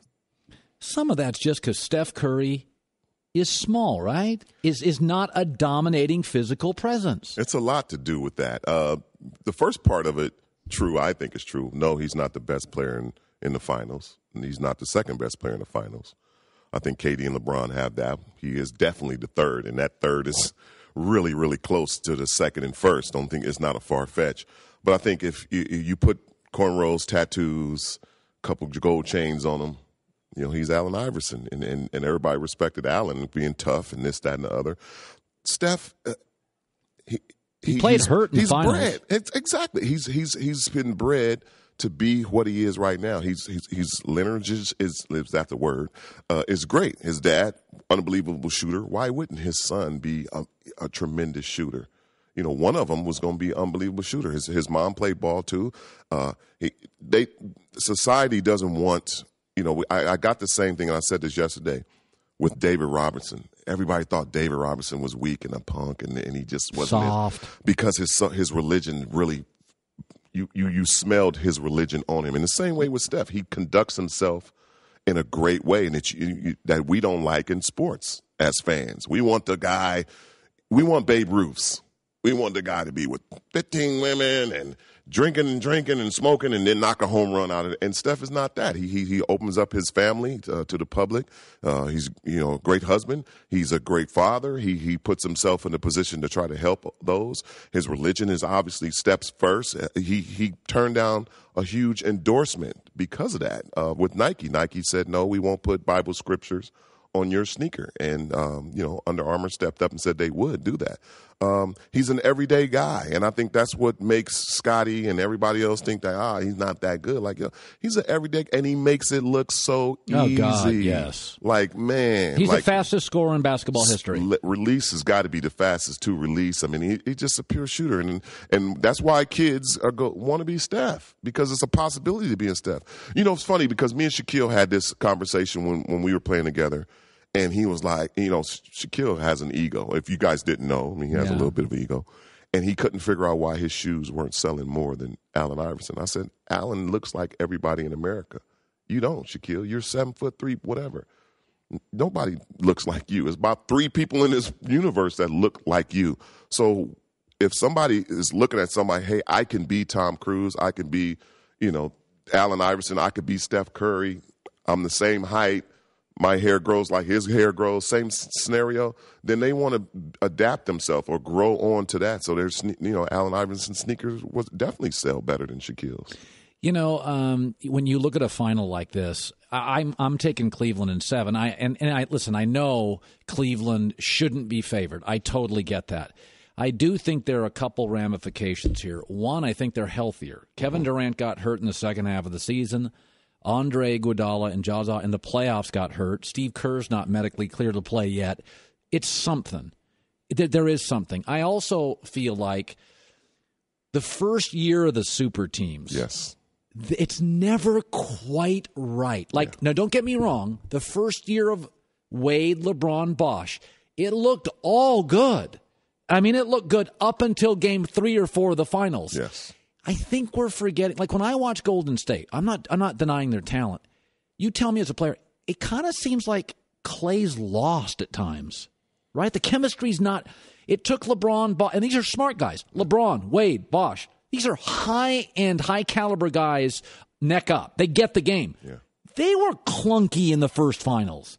Like when I watch Golden State, I don't think their spacing's always great. Right. What, what do you make of their chemistry? Well, I, I'm with you. I want Cavs to win this in seven. Uh, for one, entertainment. I want whoever wins. I want it to go seven games, so so I don't have to start rooting for my Yankees, even though my Yankees are doing good right They now. are. Um, I, I I think Klay role has changed from your sharpshooter to your best defender. Exactly. And and and I don't know if he's happy with that. And I always said, not this year, whether they win or lose. Next year, whether they win or lose, Klay's out of there. I think he will be the one to break up this super team, meaning that he has an ability. He's, he's won a championship. Whether he wins one this year or next year, he'll have one or two or three maybe. And he's like, okay, it's time for me to go He be a star. He's not going to go to a bad team. He'd go to like a San Antonio. Yeah, he's not going to go to a situation where he has to rebuild them, and he's not that type of player. And and um, but I think he's going to be the one. Uh, when it comes to this team here, a lot of people are always talking about the poise of the team. Man, that's just the way they play. You know, last year Steph made a bad pass, one crucial bad pass, Yeah. but look at the 15 million other passes that he made like that that were that connected and and, and went down. You know, it's interesting. Chris Bosh, who I really like as a guy, don't know him as a guy as well, but I know about some of his off court stuff. Good quality guy. He got worn out at the end. He kind of felt like he had become like like, hey man, you you you you stand over there. We'll call you when we need you. Yes. And he was a star at Georgia Tech. He could have gone high school to the pros. He was 25 a game in Toronto. Is there such a thing as an egoless star in the league? Who is the best player in the league that you've ever met that was egoless? Because I don't think you can be great at anything without it. Well, he left last year, and that was Tim Duncan.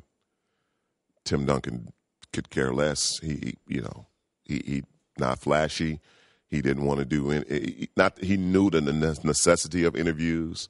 He didn't want to do it. He didn't dance. He didn't show off. Uh, you know, maybe a fist pump or so, making a shot, didn't get in your face.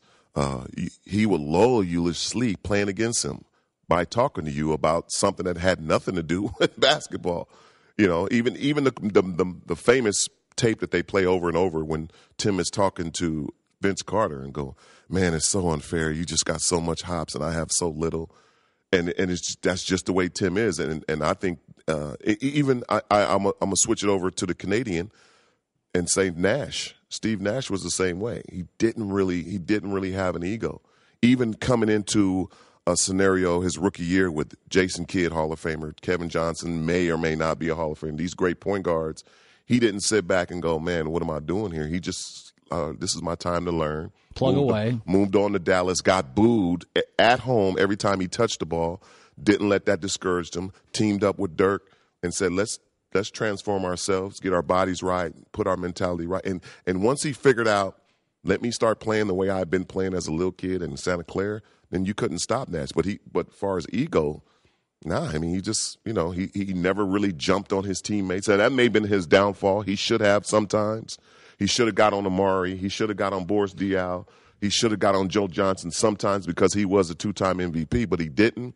Um, and Tim has his same ways of getting on his players and, and talking to them. And, and, and But it's not ego driven. It's not ego driven. Neither one of those players. Finally, Cedric Ceballos, NBA All Star, slam dunk champ, 11 uh, year veteran, one and done. Adam Silver said yesterday he suggested that now that they've gotten the financials and the TV deals out Right. of the way, they're going to attack this. And it sounds like he wouldn't have a problem abolishing the one and done. Where do you fall on it? I'm, I'm the same way. I feel that uh, after high school, you can go to war. After high school, you can vote. You know, uh, why not go work for a for Fortune 500 company? I, I don't That's see what why the NBA is. I, that's what it is. It's just another company. It's a business. So you you know, I, after high school, you go apply. You know, and, and and see can you. I think the pressure should be put on the NCAA on saying, "Hey, I went to I went to on job training. I tried to make the Lakers. I didn't make the Lakers. I got cut. Give me my scholarship back to Duke. I, I sit this year that I got cut from the Lakers. I go to school, make my grades. The next year, just like a redshirt, I, I get to be able to play for Duke and try it again and see if I can do it again. Now, you only get one time to do that. Now, you can't go and, and play a, a year with Duke and then go back to the league, get kicked out, get cut, and come back to Duke. You can't do that twice. But one time, just like that redshirt year, uh, and they do it for education when they did the for, Prop 48. They do it for injuries. They do it for military. They do it. They even do it for um, religions. Uh, when you go on your when you're a Mormon and you go on your mission, Yes, they allowed right. you to go to you know go Yep. somewhere for two years. That's right. and come back and play. Same same scenario. They, the NCAA should do that. They should allow them to go on the job training if they get cut. And and most of the players, ladies and gentlemen, most of the players do not make it. It's a ton of them. I, I played with three that out of high school just could not get it together. Was not mentally ready. One was not physically ready. Um, you know, eventually became a star. Steven Jackson. I got him his rookie year, straight out of high school. He eventually became a star, won a championship. Uh, but Leon Smith uh, Yep. at at at uh, Remember it well. yeah for the Mavericks. Yep. Had psychological problems and just could. I remember him calling me in the middle of the night. He said, "Vet, uh, I got a flat. Change your tire." Well, well, uh, how do I change my tire? I mean, it just was not ready for the world to be grown, and some some of these kids are not. So NCAA needs to look at it. Uh, uh, and as much as we're going to let them let them in, and as uh, us as NBA players, or, or I'm in the league now, no. But as much as they're going to let them in, they have to be able to something to fall back on if, if things don't go right. And, and and they allow religion to be that reason. They allow injury. They allow academics to be that reason. Why not let, let on job training be the reason? Good seeing you, man. Good stuff. Thank you, sir. Cedric Ceballos. Smooth Anita Baker on 94.7. Very excited. Uh, Jason Whitlock on earlier today. Uh, Jim Jackson. Uh, Cedric Ceballos stopped by. I thought he had a really good idea on that. And the NBA Finals uh, start tonight. I'll, I'll say this the finals, uh, they start on June 1st tonight, and they go for 18 days. And this is exactly what they should do. The NBA of all the leagues has got this figured out. The baseball season is so long that the baseball playoffs are only 16% of the length of the regular season. In a more fragmented world today, where we're all going in different directions and we are all clearly distracted, I am, you am, we all are, we know people watch sports when they feel there's urgency. Urgency, urgency equals playoffs.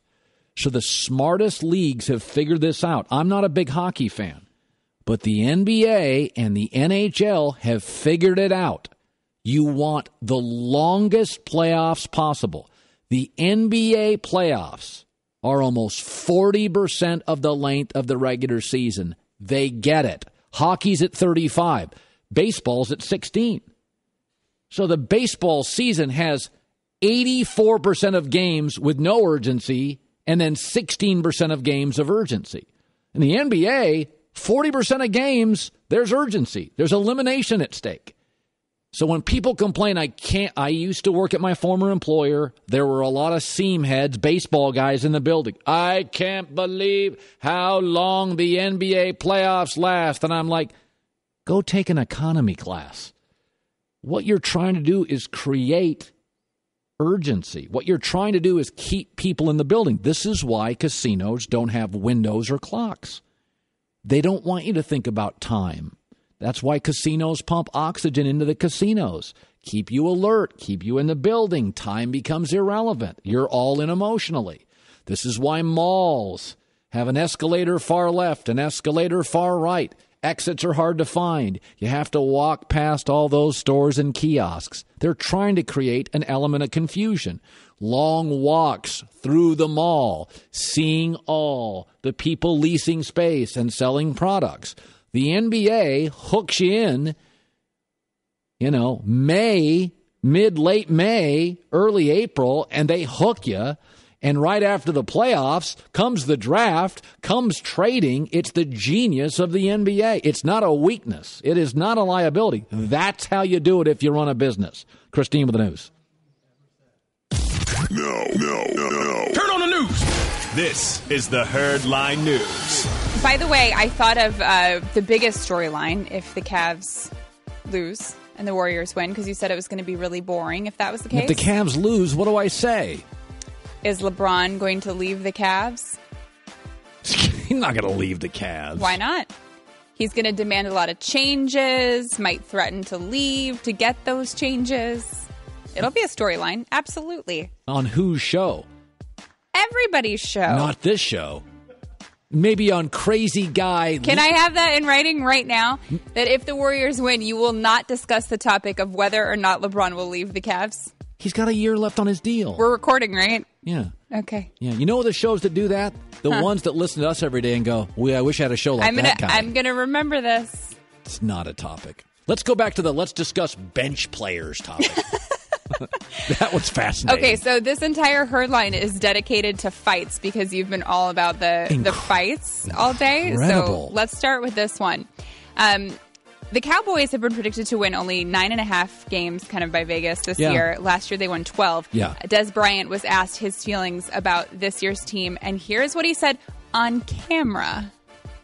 No, that's my goal, and I feel like that's everybody else's goal is to is to be better than last year. You know, um, got a lot of great building blocks from last year. You know, it's nothing to sit on. Is how can we move forward and get better? How can we get you know take that next step? And I feel like we did that in the off season. We we are doing that in the off season by doing things that we don't have to do. They know just as well as I know we have something special. You know, uh, we we just got to keep it here and just take advantage of each and every day. Okay, but then off camera, he said, This Cowboys team is the best I've been a part of, which to me sounds like shots at Tony Romo. Well, I think the team is going to be better than last year. I just don't think their record is going to be because their schedule, in my opinion, is the toughest in the league. Like, like, and it's, I don't even know who if there's a second toughest schedule. I think they're going to win ten games and be really good and better than last year, but they're not going to catch anybody by surprise. And and they, you know, they kind of got a little break last year with injuries. They were mostly healthy. Sean Lee didn't even get hurt, did he, John? Sean Lee always gets hurt. He's due for an injury. I gave you a It sounds layup here on a fight, and you just dodged it. No, I dodged it. I don't want to listen. I, I am hoping. I want harmony with the Cowboys. I don't want to be one of these media people hoping hoping for. so for them, you want harmony, but for everyone Yeah, else, you because- want them to fight? because Fox Sports needs the Cowboys to be good. I'm a company man. well, Tony Romo doesn't play for the Cowboys anymore, so I know that shouldn't matter, He- they're, right? on, they're on our schedule like 12 times. I want them to be viable and great harmony. Well, they will be right. Go Dallas. harmony. Okay, well, here's another one of the fights that we talked about Yeah. today. So, Oscar De La Hoya and Dana White they were friends because Dana White was a special guest at the Chavez Jr. Canelo fight a little while ago of Oscar De La Hoya. He was his guest. Right. Um, now De La Hoya was criticizing Dana White for this Floyd Mayweather Conor McGregor fight, saying that it is bad for boxing, bad for UFC. Is sick of talking about it, and now Dana White to TMZ Sports is responding, and he's angry.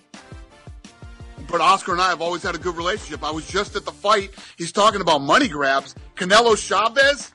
You know what I mean? You're going to put on a fight like that and then call McGregor, McGregor Mayweather a money grab when, when you were trying to make that fight four months ago. Why would you say something like that?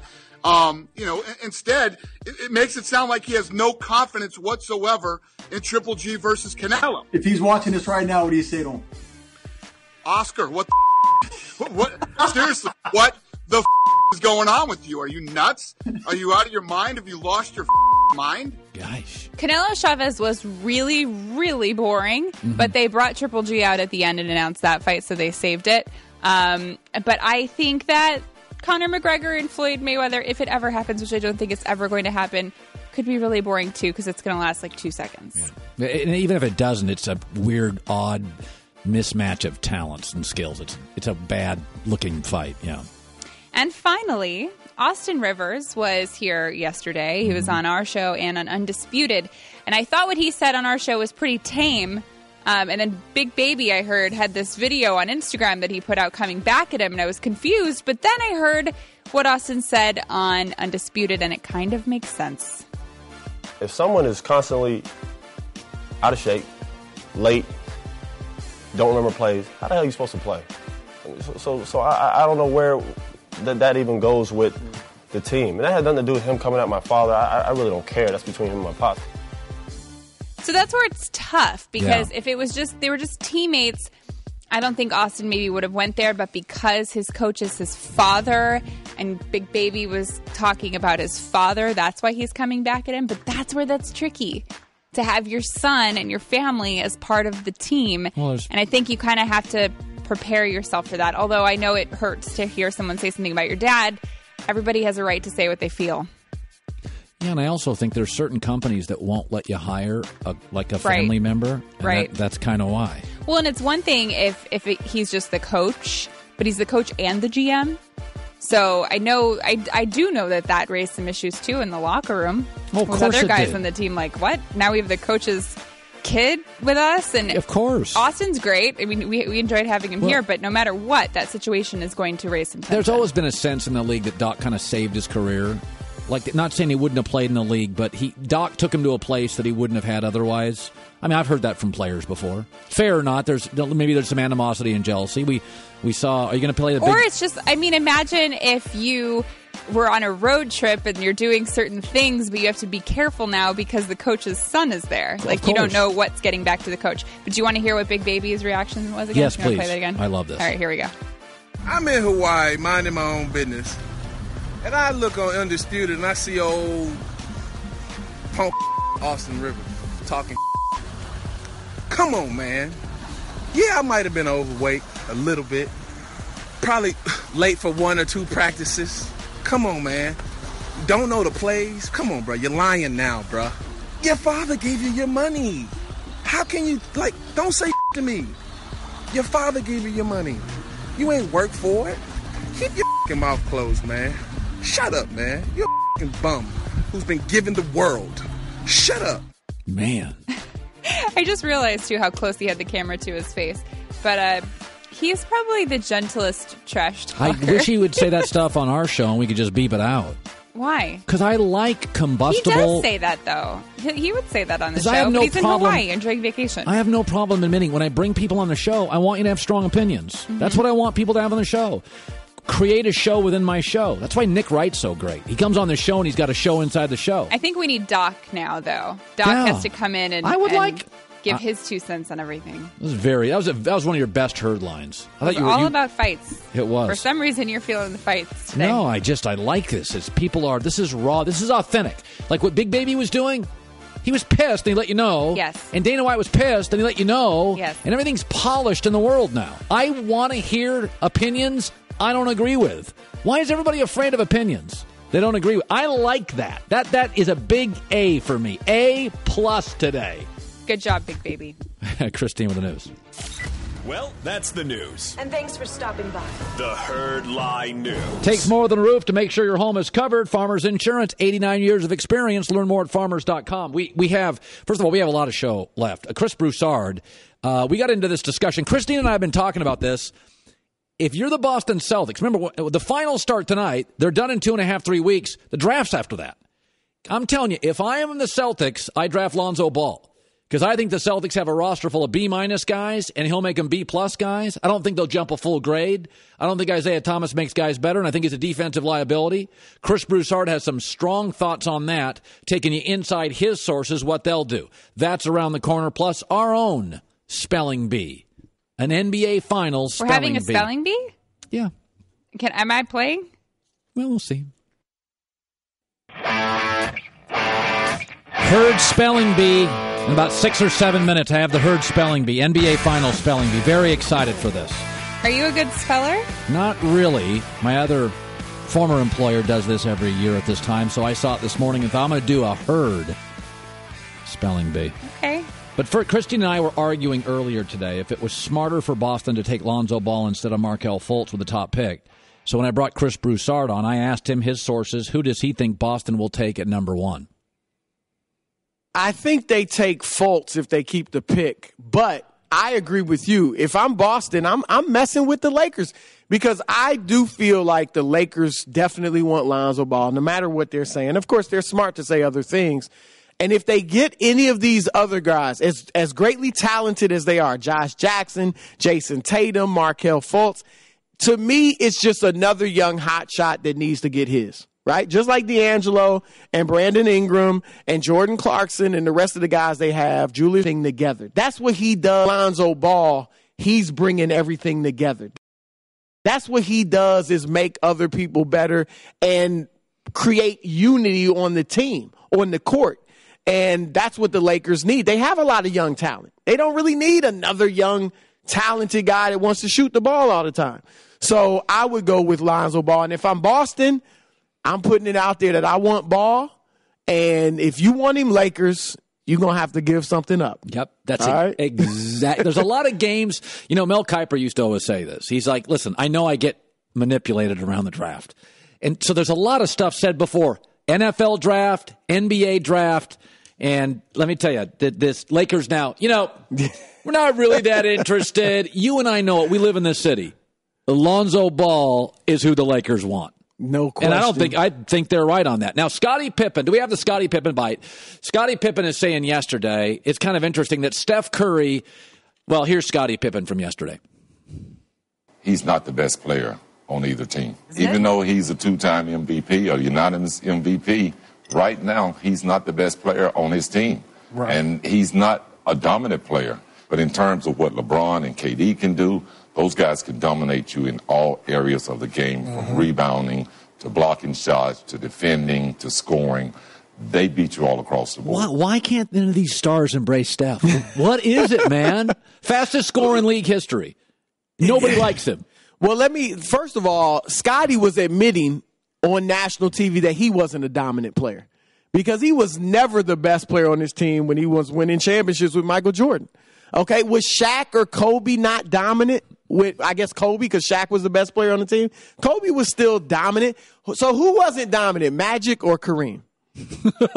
you know, like you have to be the best player on your team to be dominant. That's ridiculous. Go look at the Celtics with Russell and Havlicek and K.C. Jones. And Exactly. They I mean, come on, man. It's like I I look with current players, I think the reason some of them have issues with Steph, and I've talked to some about this, is because Steph, you have to guard him and he'll light you up. But then he doesn't guard you, the opposing point guards. So it's kind of like a sucker punch. Like I got you and then you run away and you don't give me a chance to, to get back at you. because Klay Thompson generally picks up. And it's smart by the Warriors. You know, Klay's a Steph's great good- defender. Yeah, it's smart strategy. It's not Steph's fault, but that is why some guys do kind of look at him differently and say, well, you know, it's basketball. It's not just shooting.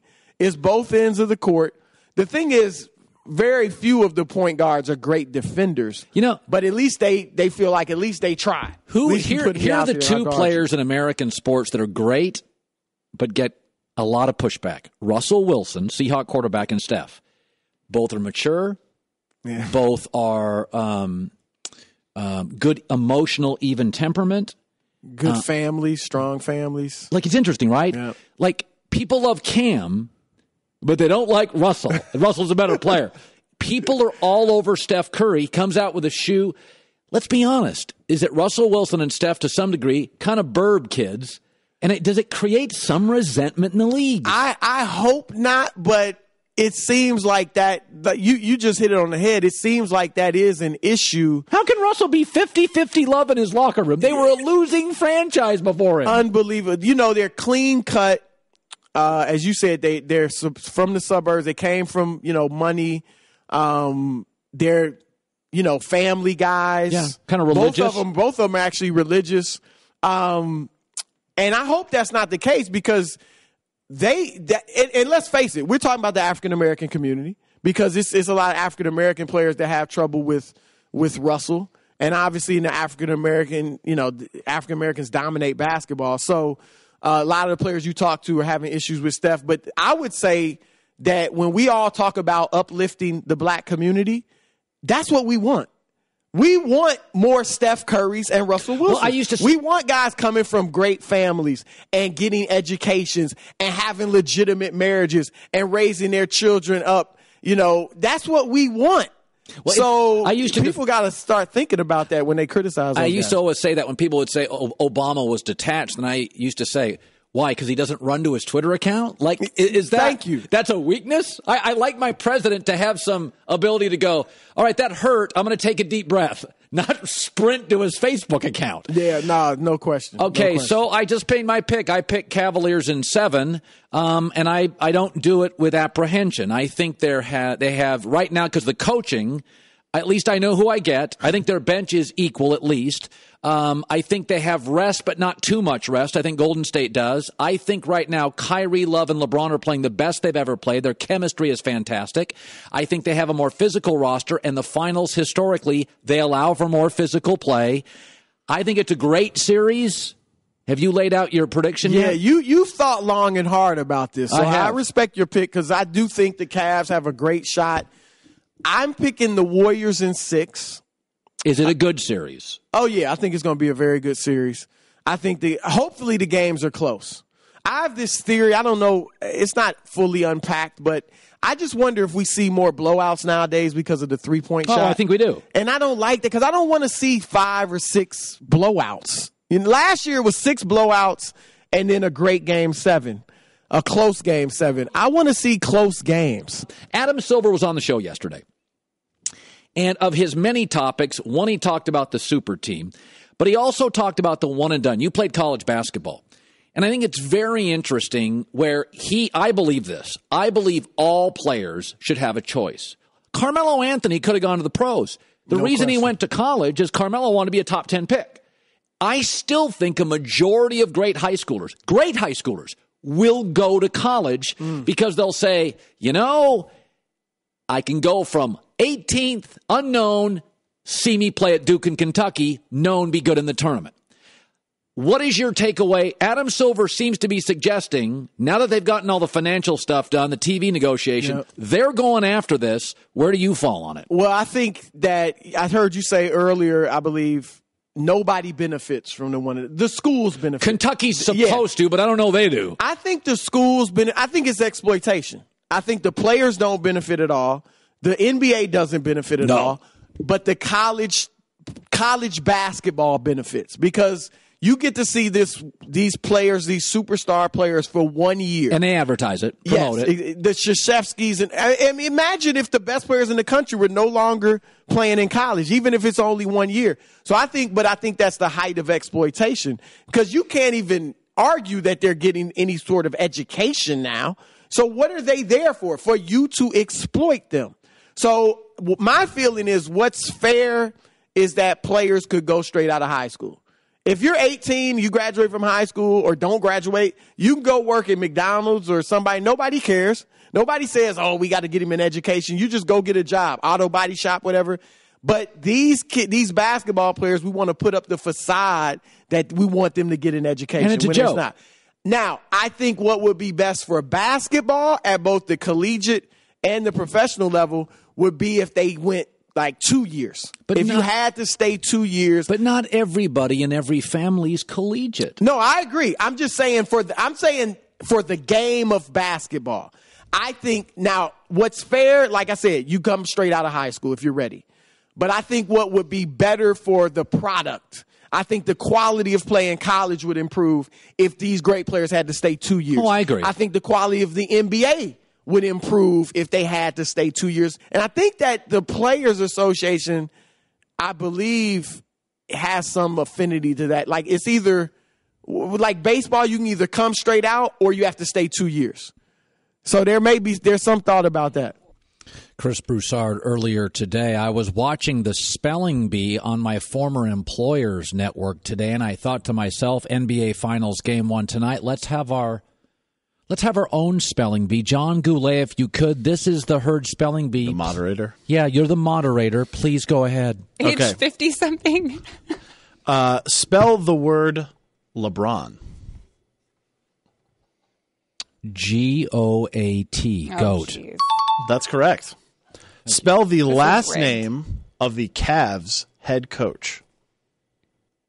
Last name of the Cavs head coach. J A M E S James. Also correct. That's and true. Final one. Spell the word ball hog. Spell the word ball hog. Oh my goodness. W E S T B R O O K Westbrook. That is correct. Three for three. This was the dumbest spelling bee ever. This is Great a job. Cowherd spelling bee. That was ridiculous. Ball hog. I had to think about that one. Oh, really? Yeah, because you could also deep? spell it H A R D E N, but I, I Come on. Uh. that was out of simply out of respect for my former employer. um, so game one tonight, Christine likes in seven. She likes the Warriors. I'm going to take the Cavs in seven. I think we're both rooting after what we just witnessed in the respective conferences. A really thoroughly entertaining, Yeah. long finals.